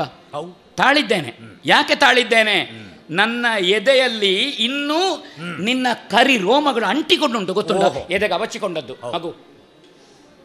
ಆ ಬಿಳಿ ಕೂದಲಿನ ಮಧ್ಯೆ ನಾಲ್ಕು ಕಪ್ಪು ರೋಮ ಕಾಣುದು ಅದು ಅಂಟಿದ್ದಿಲ್ಲಿ. ಓಹೋ. ಆ ಕಾರಣದಿಂದ ಹೇಳ್ತೇನೆ ಮಗು ಬೇಗ ಉಂಟು ಅಂತ ಹೇಳಬೇಡ. ನಾನು ಬದುಕಿರುವಾಗಲೇ ನಿಷ್ಪಾಂಡವ ಪೃಥ್ವಿ. ಕುಮಾರ. ಯಾರೋ ಹೊರಗಿದ್ದಾರೆ. ಎಷ್ಟೊತ್ತಿಗೆ ಮುಗಿಸ್ತಾರೆ ಅಂತ. ಮಗು ನನಗಿಂತ ಕಿರಿಯರ ಉತ್ತರ ಕ್ರಿಯೆಯ ಶುಕ್ರಡೆ ತಿನ್ನಬೇಕು ಅಂತ ನನಗಿಲ್ಲ ಮಗು. ನಾ ಪ್ರಾಮಾಣಿಕವಾಗಿ ಹೇಳ್ತೇನೆ. ಗೊತ್ತಿಲ್ಲದೆ. ಪಾಂಡವರು ಸತ್ತಿದ್ದಾರೆ ಅಂತ ಉತ್ತರ ಕ್ರಿಯೆ ಮಾಡಿದ್ದೇನೆ. ಅದಕ್ಕೆ ಯಾವ ಪ್ರಾಯಶ್ಚಿತ್ತ ಯಾವ ಪ್ರಕ್ಷಾಳನ ನಾ ಹುಟ್ಟಿದ ಗಂಗೆಯ ಒಡಲಿನಲ್ಲಿಯೂ ನನಗೆ ಸಿಗಲಿಕ್ಕಿಲ್ಲ ಅದಕ್ಕೆ. ಪ್ರಕ್ಷಾಳನ ಮಗು. ನಮ್ಮ ಮನೆ ಕಪಿಲ ಹಸುವಿನ ಪಂಚಗವಿಯ ತಂದ್ರು ಆಗಲಿಕ್ಕಿಲ್ಲ ಮಗು. ನನಗೆ ಗೊತ್ತುಂಟದು. ಆ, ಸಾಯದೇ ಇದ್ದವರಿಗೆ ಸತ್ತಿದ್ದೇವೆ ಅಂತ ನಾವು ಉತ್ತರ ಕ್ರಿಯೆ ಮಾಡಿದವರು. ಆದರೆ ವಿದುರ ಕಣ್ಣೊತ್ತಿದ ಕಾರಣ ನೀವು ಮಾಡಲಿಲ್ಲ. ಪಿಂಡ ಬಲ್ಲಿಯವರು ಪರಿತಿಲೋದ ಕಮಿಗೆ ಹೊರಡ್ಲಿಲ್ಲ. ಯಜ್ಞೋಪವೀತ ಹೀಗೆ ಮಾಡಿದ್ದೇನೆ. ಪ್ರಾಚೀನ ವೀತಿ ಮಾಡ್ಲಿಕ್ಕೆ. ಹೀಗೆ ನೋಡಿದ. ಪುನಃ ಹೀಗೆ ಮಾಡಿದೆ. ನೀವು ಅಪಕರ್ಮದಲ್ಲಿ ಭಾಗವಹಿಸಲಿಲ್ಲ. ನಮ್ಮಂಥವರು ಭಾಗವಹಿಸಿದ್ರೆ ಏನು ಹೇಳು ಇಲ್ಲ. ನಿಮಗೆ ಅಪರ ಪೂರ್ವವೇ ಇಲ್ಲ ಮತ್ತೆ ಯಾವ ಕರ್ಮ ಹೇಳು? ಹಾಗಿದ್ರೆ ಇಷ್ಟೆಲ್ಲ ಹೇಳುದಿನ ಯಾಕೆ? ಅದಕ್ಕೆ ಬೇಕಾಗಿ- ಅಪರವೂ ಇಲ್ಲ ಪೂರ್ವ ಇಲ್ಲ ಅಂತಾದ್ರೆ ಅಂದ್ರೆ- ನನ್ನ ಮೇಲೆ ಇಷ್ಟು ಪ್ರೀತಿ ನೀನು ಕುರುಕುಲಾನ್ವಯ ತಿಲಕ ಇಷ್ಟೆಲ್ಲ ಇದ್ದು ಹೇಳುವುದು ಕೇವಲ. ಯಾಕೆ ಭೌತಿಕವಾಗಿ ಹೇಳುವುದು ಮನಸ್ಸು ಯಾಕೆ ಹೇಳುದು ಅಂತ ಗೊತ್ತುಂಟಾ. ನನ್ನ ತೊಡೆಯಲ್ಲಿ ಬೆಳೆದಿದ್ದೀರಿ. ನಿಮ್ಮ ತೊಡೆ ತೊಟ್ಟಿಲಲ್ಲೇ ಬೆಳೆದವರು ನಾವು. ಮೋಹ. ಪಾಂಡವರ ವಿದ್ವೇಷವನ್ನು ಮಾತ್ರ ಖಂಡಿತ ಬಿಡ್ಲಿಕ್ಕಿಲ್ಲ. ಸಂಬಂಧಕ್ಕೆ ಸಂಬಂಧಕ್ಕೆ ವಾತ್ಸಲ್ಯ ಬಿಟ್ಟು ಬೇರೆ ವ್ಯಾಖ್ಯಾನ ಉಂಟ? ಅಜ್ಜ. ಅದಕ್ಕೆ ಬೇಕಾಗಿ ನನ್ನ ವಾತ್ಸಲ್ಯದ ಕೂಸುಗಳಾದ ನೀವು. ಭೇದ ಇಲ್ಲ ನಿಮಗೆ ಬೆಳೆಸಿದ್ದೇನೆ ಮಗು. ಭೇದ ಅಂತ ಹೇಳ್ತೀಯಲ್ಲ? ಅದಕ್ಕೆ ನಾ ಹೇಳೋದು ಮಗು. ಒಂದೇ ಮಾಡು ನೀ ಬೇರೆ ಎಂಥದ್ದು ಮಾಡಬೇಡ. ನನ್ನಲ್ಲಿ ನಿನಗೆ ಶ್ರದ್ಧೆ ಗೌರವ. ಅಜ್ಜ ಅಂತ ಉಂಟು ಅಂತಾದ್ರೆ. ಮಗು ಅಂಗೈಯಲ್ಲಿ ತೆಗೆದು. ಅಂಗೈಯಲ್ಲಿ ತೆಗೆದು ಧರ್ಮರಾಯನಿಗೆ ಇದು ಮಣ್ಣು ಅಂತ ಕೊಡು ಮಗ. ಹಾಗೆ. ಮಣ್ಣು ಅಂತ ಕೊಡು. ಅದರ ವ್ಯಾಪ್ತಿ ಎಷ್ಟು ಅಂತ ಧರ್ಮರಾಯನಿಗೆ ನಾನು ಅಳತೆ ಮಾಡಿ ಹೇಳ್ತೇನೆ. ನೀನು ಅಂಗೈಯಲ್ಲಿ ತೆಗೆದು ಕೊಟ್ಟರೆ ಸಾಕು. ದೊನ್ನೆಯಲ್ಲಿ ದತ್ತ ಮಾಡಿದಾಗೆ ಚಪರದಲ್ಲಿ. ಭೂದಾನ ಮಾಡುವಾಗ. ಆದ್ರೂ- ಭೂಮಿ ಅಳತೆ ಎಷ್ಟು ಅಂತ ಮತ್ತೆ ಹೇಳುವ ನಾವು. ಇದು ಇದಕ್ಕೊಂದು ಉದಾಹರಣೆ ಬೇಡ ಐದು ತೆಂಗಿನ ಮರ ಕೊಡು ಐದು ತೆಂಗಿನ ಮರ ಕೊಡು. ಈ ವ್ಯಾವಹಾರಿಕ ಒಂದು ಉದಾಹರಣೆ ಕೊಡ್ತೇನೆ. ಒಬ್ಬ ಸತ್ತಾಗ ಸಾಯುವಾಗ ಅವನಿಗೆ ಪಾಲು ಸಿಕ್ಕಲಿಲ್ಲ ಆ ಮಣ್ಣಿನಲ್ಲಿ. ಅವ ಸಾಯುವಾಗ ಒಂದು ಮಾತು ಹೇಳಿದಂತೆ. ಇದು ಸಾಮಾನ್ಯ ಗ್ರಾಮವಾಗಿ ನಡೆಯುವ ನಡೆಯುವುದು ಆ ಜಾಗದಲ್ಲಿ ಒಂದು ಸ್ವಲ್ಪ ಮಣ್ಣು ಸಿಕ್ಕದಿದ್ರೆ ನೀವು ಒಟ್ಟಿಗೆ ಜೊತೆಯಲ್ಲಿ ಆಗಬೇಡಿ ನಿಮಗೆ ಒಳ್ಳೇದಾಗಲಿಕ್ಕಿಲ್ಲ ಅಂತೇಳಿ ಅವ ಸತ್ತು ಬಿಟ್ಟ ಕೊನೆಗಾಗು ಇದಕ್ಕೇನು ಪರಿಹಾರ ಅಂತೇಳಿ ಒಂದಿಷ್ಟು ಮಣ್ಣನ್ನು ತೆಗೆದು ಹೋಗಿ ಒಂದು ಮಣ್ಣು ಇವನ ಮಣ್ಣಿಗೆ ಸೇರಿಸುವಂತ. ಅದೆಲ್ಲ ವಿಧಿವಿಧಾನಗಳು. ಅದು ಅಲ್ಲ ಅಜ್ಜ ಭೇದಗಳು ನಿಮಗಿಲ್ಲ ಅಂತ ಆದರೆ ಭೇದವಿಲ್ಲದಿರೇ ನಮ್ಮೊಳಗೆ ವಾದ ಬೇಡೆನ್ನುತ್ತಿರೆ ಹೋದ ನುಡಿ. ಹಿಂದ ನಮ್ಮ ಸೇನಾಧಿಪತ್ಯವ ತಾಳುವುದು. ಅಜ್ಜ. ಓ. ಇದ್ದಾನೆ ಅನ್ನುವಾಗ ನಮ್ಮ ಈ ಹನ್ನೊಂದು ಅಚ್ಚೈಣಿ ಸೇನೆಯನ್ನು ರಕ್ಷಿಸುವ ಹಸ್ತಿನಾವತಿ ಅರ್ಥಾತ್ ಸಾಮ್ರಾಟ ಸಿಂಹಾಸನವನ್ನು ರಚಿಸುವ ಜವಾಬ್ದಾರಿ ನಿಮ್ಮದು. ನೀವೇ ನಮ್ಮ ಸೇನಾಪತಿಯಾಗಿ ನಿಯುಕ್ತ ಅಂತ ಕೇಳಿಕೊಳ್ತೇನೆ. ನೀನು ನೀವೇ. ನೀನು ಚಿನ್ನದ ಚೂರಿ ತಂದು ಹಾಕುದೆ ಅಜ್ಜನಿಗೆ ಎದ್ದರಳ ಕೀಳಲು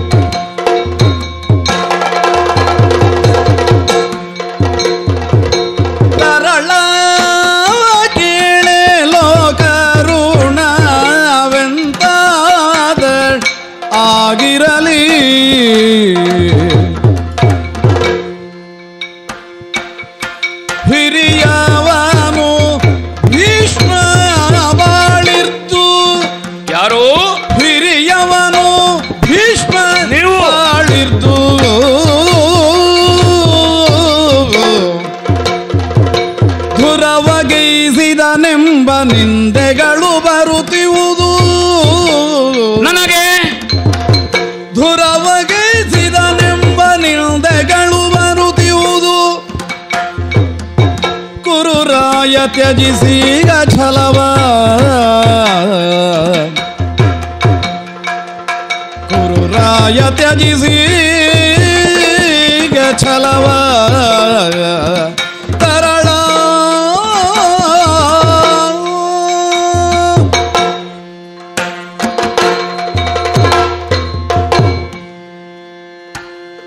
ನಿನಗೂ ಮಕ್ಕಳು ಮೊಮ್ಮಕ್ಕಳಾಗಿದೆ. ಹೌದಜ್ಜ.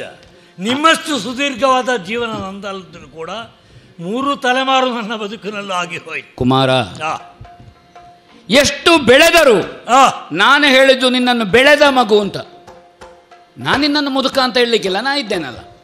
ಬೆಳೆದ ಮಗು. ಹೌದು. ಆ ಕಾರಣದಿಂದ ತರಳ ಅಂತ ಹೇಳಿದೆ. ಬೆಳೆದು ಬಲಿತವನ ಬಲಿತ ಮಗು. ಹೌದು. ಎಷ್ಟೇ ಹಣ್ಣಾಗಲಿ ಒಣಗಲಿ ಒಂದನ್ನು ನಾವು ಕಾಯಿ ಅಂತ ಹೇಳೋದಲ್ಲ ತೆಂಗಿನಕಾಯಿಯನ್ನು? ಹೌದು. ಹಣ್ಣು ತೆಂಗಿನಕಾಯಿ ಅಂತ ಹೇಳಲಿಕ್ಕಿಲ್ಲ ಕಾಯಿ ಅದು. ನೀನು ಹಾಗೆ. ಅದನ್ನು ದೇವರಿಗೆ ಇಡುವುದು ನಾವು. ಬೇರೆ ಯಾವ ಹಣ್ಣನ್ನು ಹಣ್ಣು ಕಾಯಿಗೆ ಇಡ್ತೇವ? ಇಲ್ಲ. ಅದು ಹಣ್ಣಾದರೂ ಕಾಯಿ. ಅದಕ್ಕೆ ದೇವರ ಮುಂದೆ ಅದನ್ನಿಟ್ಟು ಕಾಯಿ ಅಂತ ಹೇಳುದು ನಾವು. ಅದಕ್ಕೆ ನಾನು ನಿನ್ನನ್ನು ಇಟ್ಟು ಹೇಳುದು ಕಾಯಿ ಅಂತ. ದೇವರ ಮುಂದೆ ಇಟ್ಟು. ಒಂದು ಹಳ್ಳಿಯಲ್ಲಿ ಒಂದು ಹೊಳೆ ಹರಿಯುತ್ತದೆ ಒಂದು ಹೊಳೆ ಮಾತ್ರ ಹರಿಯುವುದು. ಹೌದು. ಆ ಹೊಳೆ ಮಾತ್ರ ಹರಿಯುವಾಗ ಆಚೆ ಮನೆ ಕೈಕಾಲು ತೊಳಿತಾನೆ ಮುಖ ತೊಳಿತಾನೆ ಬಟ್ಟೆ ತೊಳಿತಾನೆ. ಹಾಗೆ ನಾನು ನೀರಿನ ಹತ್ರ ಹೋಗ್ಲಿಕ್ಕಿಲ್ಲ ಅಂತ ಇವ ಹೇಳಲಿಕ್ಕಿಲ್ಲ.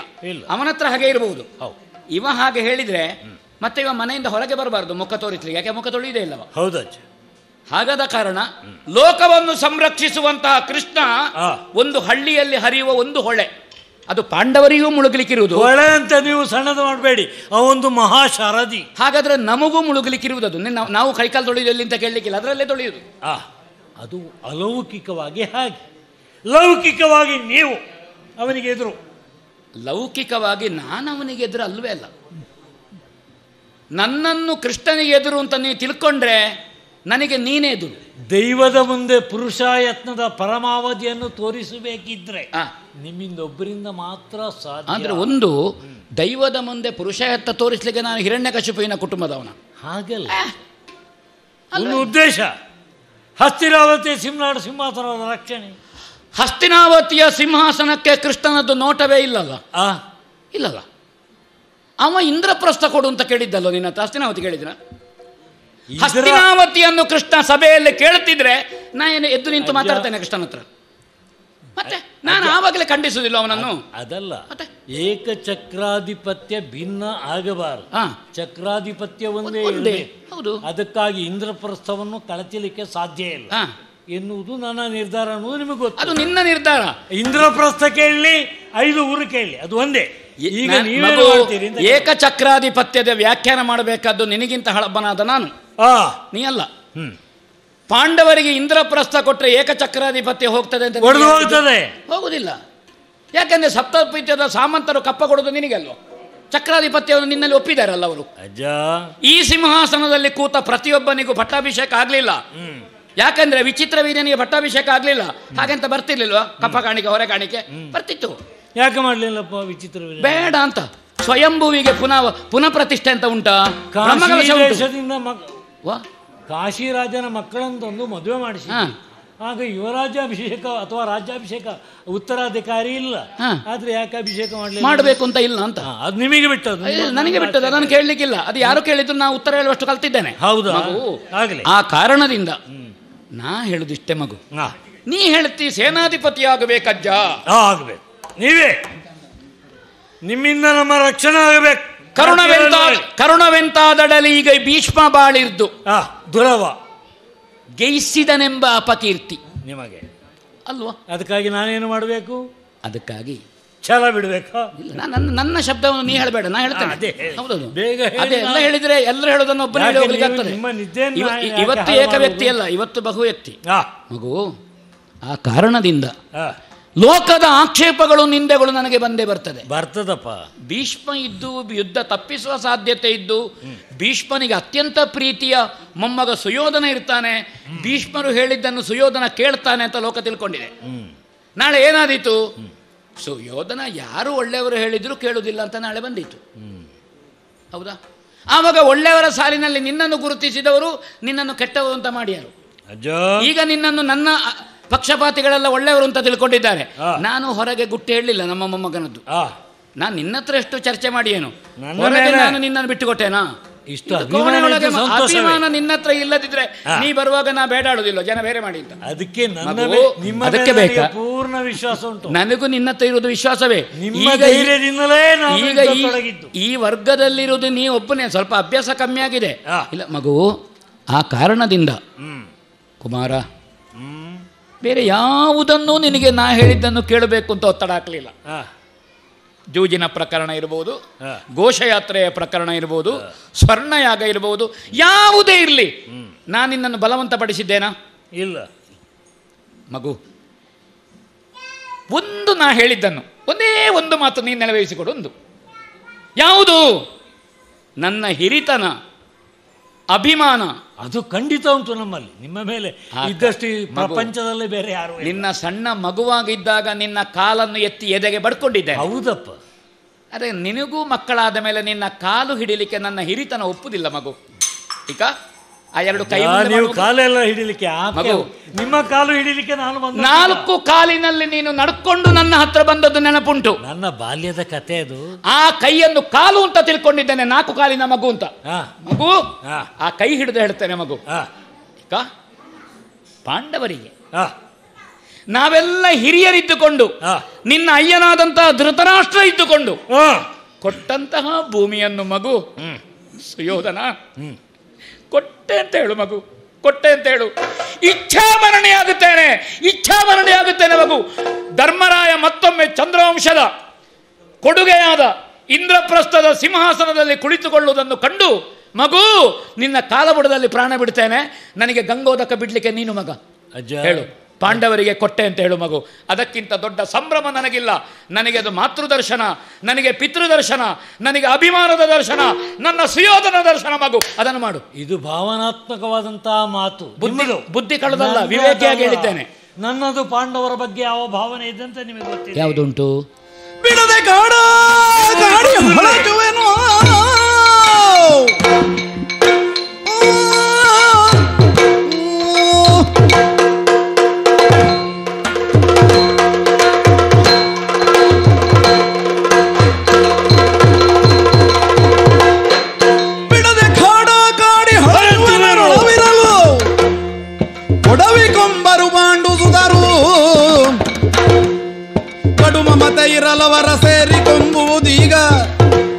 ತುಡುಕಿ ಸಮರವ ಗೈಯದಿರೆನು?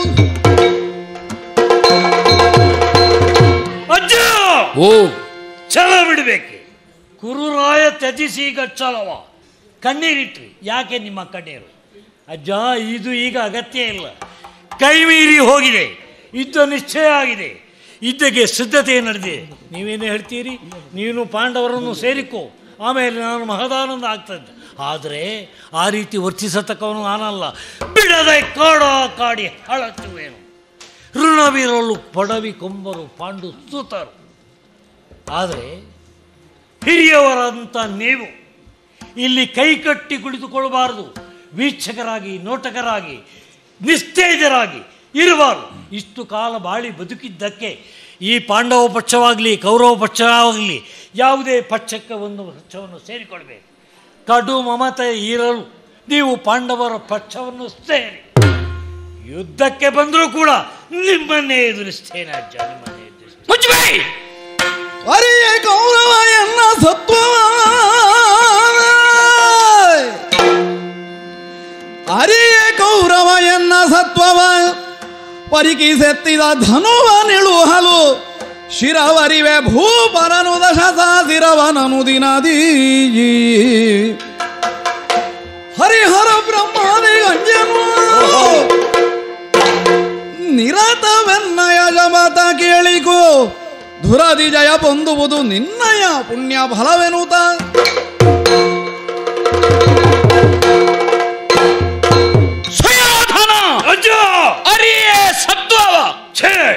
ನಿಜವಾದ ವಿಶ್ವರಾವ್ ಗಂಧ ಪರಿಮಳ ಬರಬೇಕು ಅಂತಾದ್ರೆ ತೇದಬೇಕು ಅರಿಬೇಕು. ನಿಮ್ಮ ಸತ್ವ ನನಗೆ ಗೊತ್ತಿಲ್ವಾ ಅಜ್ಜ? ನನ್ನನ್ನು ಮಾತಾಡ್ಲಿಕ್ಕೆ ಬಿಡ್ತೀಯಾ? ಹೇಳಿ. ಪರವಾನಿಗೆ ಬೇಡ. ಕೇಳು. ಗಂಧ ಅರೆಯದೇ ಇದ್ರೆ ಪರಿಮಳ ಬರುವುದಿಲ್ಲ. ಆಗಲಿ. ಸತ್ವ ಗೊತ್ತಾಗಬೇಕಿದ್ರೆ ಅರಿಬೇಕು. ಅರಿಯೇ ಸತ್ವವ. ಸತ್ವವನ್ನು ಅರಿಬೇಕು. ಹ, ಏನು ನಿನಗೆ ಅರಿಯೋ ನಾನು ನಿನ್ನನ್ನು ವಿರೋಧಿಸಲಿಕ್ಕೆ? ಅರಿಯೇ. ನನ್ನನ್ನು ಅರ್ಥ ಮಾಡಿಕೊಳ್ಳಿಲ್ಲ ನೀನು. ಆರ್ಥಿಕವಾಗಿ ಅಂತಃಕರಣದಲ್ಲಿ ನಿನ್ನನ್ನು ಪ್ರೀತಿಸ್ತಾ ಇದ್ದೇನೆ ಮಗು. ನಿನ್ನನ್ನು ಪ್ರೀತಿಸ್ತಾ ಇದ್ದೇನೆ. ನನ್ನ ಮೊದಲ ಪ್ರೀತಿಯ ಬೆಳ್ಕೊಡೆ ನಿನ್ನ ನೆತ್ತಿಯ ಮೇಲೆ. ಇಲ್ಲದಿದ್ರೆ ಇಷ್ಟು ವರ್ಷ. ನೀನು ಕಾರ್ಬಾರ್ ಮಾಡ್ಲಿಕ್ಕಿತ್ತ. ಇಲ್ಲ. ಹೋಗು. ಕಡು ಮಮತೆ ಇರಲು ಅವರ ಸೇರಿಕೊಂಬುದು ಯಾರಂತೂ ಅಂತ ನೀ ಹೇಳಲಿಲ್ಲ. ಯಾರಲ್ಲಿ ಮಮತೆ ಉಂಟೋ ಅವರನ್ನು ಸೇರಿಕೊಂಬುದು ಕಡು ಮಮತೆ ನಿನ್ನಲ್ಲಿ ಉಂಟು. ನಿನ್ನಲ್ಲಿ ಸೇರಿಯಾಗಿದೆ. ಆಗಿದೆ ಹಾಲು ಮತ್ತು ನೀರು ಒಟ್ಟು ಸೇರಿದ ಮೇಲೆ ಹಾಲು ಹೊರಟು ಬೇರೆ ಹೋಗ್ಲಿಕ್ಕೆ ಉಂಟಾ ಕಡು ಮಮತೆ ಇರಲವರ ಸೇರಿಕೊಂಬುದು ನಿನ್ನನ್ನು ಸೇರಿ ಆಗಿದೆ ಮಗು ಇನ್ನು ಹೊರಗೆ ಹೋಗ್ಲಿಕ್ಕಿಲ್ಲ. ಹೋಗುವವನು ನಾನಲ್ಲ. ಸೇನಾಧಿಪತ್ಯ ಮಾಡಬೇಕು. ಸೇನಾಧಿಪತ್ಯ ಮಾಡಬೇಕು ಅಂತ ನನಗೆ ನೀನು ಮನವಿ ಪತ್ರ ಕೊಡಬೇಕಾ? ನಾನು ಸೇನಾಧಿಪತ್ಯದಿಂದ ರಾಜೀನಾಮೆ ಕೊಡಲಿಲ್ಲ. ನಾನು ಸರ್ವ ಸೇನಾಧಿಪತಿ ಅಲ್ವಾ? ಹಾ. ಮತ್ತೆ? ಹೌದು. ನನ್ನನ್ನು ಸೇನಾಧಿಪತಿ ಅಂತ ಘೋಷಣೆ ಮಾಡಲಿಕ್ಕೆ ಇನ್ನೊಬ್ಬ ತಾಯಿ ಹೆತ್ತ ಮಗ ಯಾರಿದ್ದಾನೆ ಇಲ್ಲಿ? ಆದರೂ ಅದನ್ನು ನೆನಪಿಸಬೇಕಾದ. ಮರ್ತೇ ಹೋಗ್ಲಿಲ್ಲ. ನಾನೇ ಸೇನಾಧಿಪತಿ. ಆ ಕಾರಣದಿಂದ ಹೇಳ್ತೇನೆ. ಏನು ಭೀತಿ ಪಡಬೇಡ. ಪಾಂಡವರಲ್ಲಿ ಮೋಹ ಉಂಟು ಅಂತಲೂ ತಿಳ್ಕೊಳ್ಬೇಡ. ಎತ್ತಿದ ಬಿಲ್ಲನ್ನು ಕೆಳಗಿಳಿಸುವ ಮೊದಲು ದಿನ ಒಂದಕ್ಕೆ. ಹತ್ತು ಸಾವಿರ ಕುಟ ಮುಕುಟ ತಲೆ ಕಡಿಯುತ್ತೇನೆ. ಆಗ್ಲಿ ಅಜ್ಜ. ಧನ್ಯ ನಾನು ಲೆಕ್ಕ ಮಾಡುವ ಕೆಲಸ ಮಾಡಬೇಕು. ಹತ್ತು ಸಾವಿರಕ್ಕಿಂತ ಹೆಚ್ಚಾದ್ರೆ ಹೇಳಬೇಡ. ಕಡಿಮೆ ಆದ್ರೆ ಹೇಳು. ಸೂರ್ಯಾಸ್ತಮಾನದ ಒಳಗೆ. ಎಂತ ಹೇಳಿದ ಕೃಷ್ಣ ನಿನ್ನಲ್ಲಿ ಅಯುಧ್ಯಮಾನ ಸಂಗ್ರಾಮೇನ ನ್ಯಸ್ತ ಶಸ್ತ್ರೋಮೇಕತ. ಆಯುಧವನ್ನು ಹಿಡಿಯುವುದಿಲ್ಲ. ನೆಸ್ತ ಶಸ್ತ್ರ. ಪಿಡಿಎಂ ಪಿಡಿಯಂ ಚಕ್ರಮನೆಂಬ ಚಕ್ರಿಯೊಳು. ಇಳಾ ಚಕ್ರಮಂ ಭಯಗೊಳ್ಳುವ ತೆರೆದಳು. ಓಹ್. ಪಿಡೀಪೆಂ ಕರ ಚಕ್ರಮಂ. ಭಲೆ ಭಲೆ. ಎದೆ ಮುಟ್ಟಿಕ ಮಗು. ಅಜ್ಜ ಹೇಳಿದ್ದು. ಅಗ್ನಿದತ್ತವಾದದ್ದು. ರಥ. ಅಗ್ನಿದತ್ತವಾದ ಕುದುರೆ. ಅಗ್ನಿದತ್ತವಾದ ಗಾಂಡೀವ. ಅಗ್ನಿದತ್ತವಾದ ಭತ್ತದ ಬತ್ತಳಿಕೆ. ಸರ್ವವು ಅಗ್ನಿದತ್ತವಾದದ್ದು. ಕೃಷ್ಣಾರ್ಜುನರ ರಥ. ಪದಿನೆಂಟಾವುದ ಹಿಂದೆ ಹಾರಿಸ್ತೇನೆ. ಕೃಷ್ಣಾರ್ಜುನರ ರಥವನ್ನು. ರಾಮರಾವಣ ಯೋರು ಯುದ್ಧಮ್ಮು. ರಾಮರಾವಣ ಯೋರಿವ. ಆ ಕಪಿ ಹೇಳಿ ಹೇಳಿದ್ದಾನೆ ಸಾಗರ ಸಾಗರ ಉಪಮಂ ಹಾ. ಎಂತ ಮಕ್ಕಳದ್ದು ಬಯಲಾಟ ಹೇಳ್ತಾ ಹೇಳಿದನಂತೆ. ಆ ವಿರಾಟ ಪುರುಷನನ್ನು ಪುರಾಣ ಪುರುಷನನ್ನು ವಜ್ರ ದೇಹಿಯ ಟಿಟ್ಟಿನಿ ಗುಟ್ಟುವಂತೆ ಮುಖ ತಿರುಗಿಸುವಂತೆ ಮಾಡುತ್ತೇನೆ. ಧನ್ಯ ಧನ್ಯ ನಾನು. ಅಷ್ಟು ಹೊತ್ತಬೇಕಲ್ಲ ಅಷ್ಟು ಹೇಳಲಿಕ್ಕೆ. ಆಗ ಮಧ್ಯೆ ಮಧ್ಯೆ ಮಾತಾಡ್ತಾ ಇದ್ದೆ. ಅಲ್ಲ ಹಾಗಲ್ಲ ನಿಮ್ಮದೆಲ್ಲ ಮಾತು ಮುಗಿದಿದೆ ಇಲ್ಲ ಅಂತ ನನಗೆ ಸಂದೇಹ. ಎಲ್ಲ ನಡುವೆ ಬೇಡ ಬಂದು ಬಂದು ಇಲ್ಲಿವರೆಗೆ ಮಧ್ಯೆ ಮಾತಾಡಿ ಆಗಿದೆ. ಕೊನೆಗೆ ಪುನಃ ಅದನ್ನ ಹೇಳ್ತಾನೆ. ಆಗ ಮಗು. ಸಂಭಾಷಣೆ ಮಧ್ಯ ಮಧ್ಯ ಮಾತಾಡಂದ್ರೆ ಸಂಭಾಷಣೆ. ಮಧ್ಯ ಇಲ್ಲ ಒಬ್ಬರೇ ಉದ್ದಕ್ಕೆ ಮಾತಾಡುದು ಆ, ಅದು ಸರಿಯಲ್ಲ ಅಜ್ಜ. ಹಾಗೆ ಆದರೂ ಆದರೂ ಎತ್ ನಾನು ಹೇಳಿದಿಲ್ಲ ಒಮ್ಮೆ ತೊಡಗಿದ ವಾಕ್ಯ ಪೂರ್ತಿ ಆಗಬೇಕು. ಆದ್ರೆ ನನ್ನ ವಾಕ್ಯ ಕೊನೆಯದ್ದು ಮುಗೀತಾ? ಒಂದು ದಾಖಲೆ ಅಕ್ಕ. ಪರೀಕ್ಷೆ ನನಗೆ ಗೊತ್ತುಂಟು. ನೀನು ನನ್ನ ಕೊನೆಯನ್ನು ಮುಗಿಸಲಿಕ್ಕೆ ಬಂದದ್ದು ಅಂತ ಗೊತ್ತುಂಟು ನನಗೆ. ನಾ ಗೊತ್ತಿರದ ಎಡ್ಡ ಅಲ್ಲ. ಕಾರ್ಯಾವಸರ ಅಷ್ಟು ಉಂಟಜ್ಜ ನೀನು ಅವಸರದಲ್ಲಿ ಅಜ್ಜನನ್ನು ಮಲಗಿಸ್ತಿ ಅಂತ ನನಗೆ ಗೊತ್ತು ಸಮಯ. ನನಗೆ ನನಗೂ ಸಮಯ ಇಲ್ಲ. ಮಗು. ನೀವು ನಿಮ್ಮ ನಿದ್ದೆಯನ್ನು ಹಾಳುಗಡುವುದು ಯಾಕೆ? ನಿದ್ದೆ ಹಾಳಾಗಿ ಆಯ್ತಲ್ಲ ಬೆಳಗ್ಗಾಗಲಿಕ್ಕೆ ಆಯ್ತು. ಮಗು ಇವತ್ತು ಇನ್ನಾದರೂ ಹಾ. ಒಂದು ಜಾವ ನೆಮ್ಮದಿಯಲ್ಲಿ ನಿದ್ದೆ ಮಾಡು. ಹಾ. ಎಲ್ಲ ದಾಖಲೆ ಮಾಡಿದ್ದಿ. ಖಂಡಿತವಾಗಿ ಮಾಡ್ತೇನೆ ಹೌದಾ? ಅಜ್ಜನಿಗೆ ಕೆಲವು ದಿನಗಳ ಅಲ್ಲ ಅಜ್ಜನಿಗೆ ಮದುವೆ ಮಾಡಿದ ದಾಖಲೆ ನಿನ್ನಲ್ಲಿ ಇರಲಿ ಹಾ. ಹೌದಾ? ಸೇನಾಧಿಪತಿ.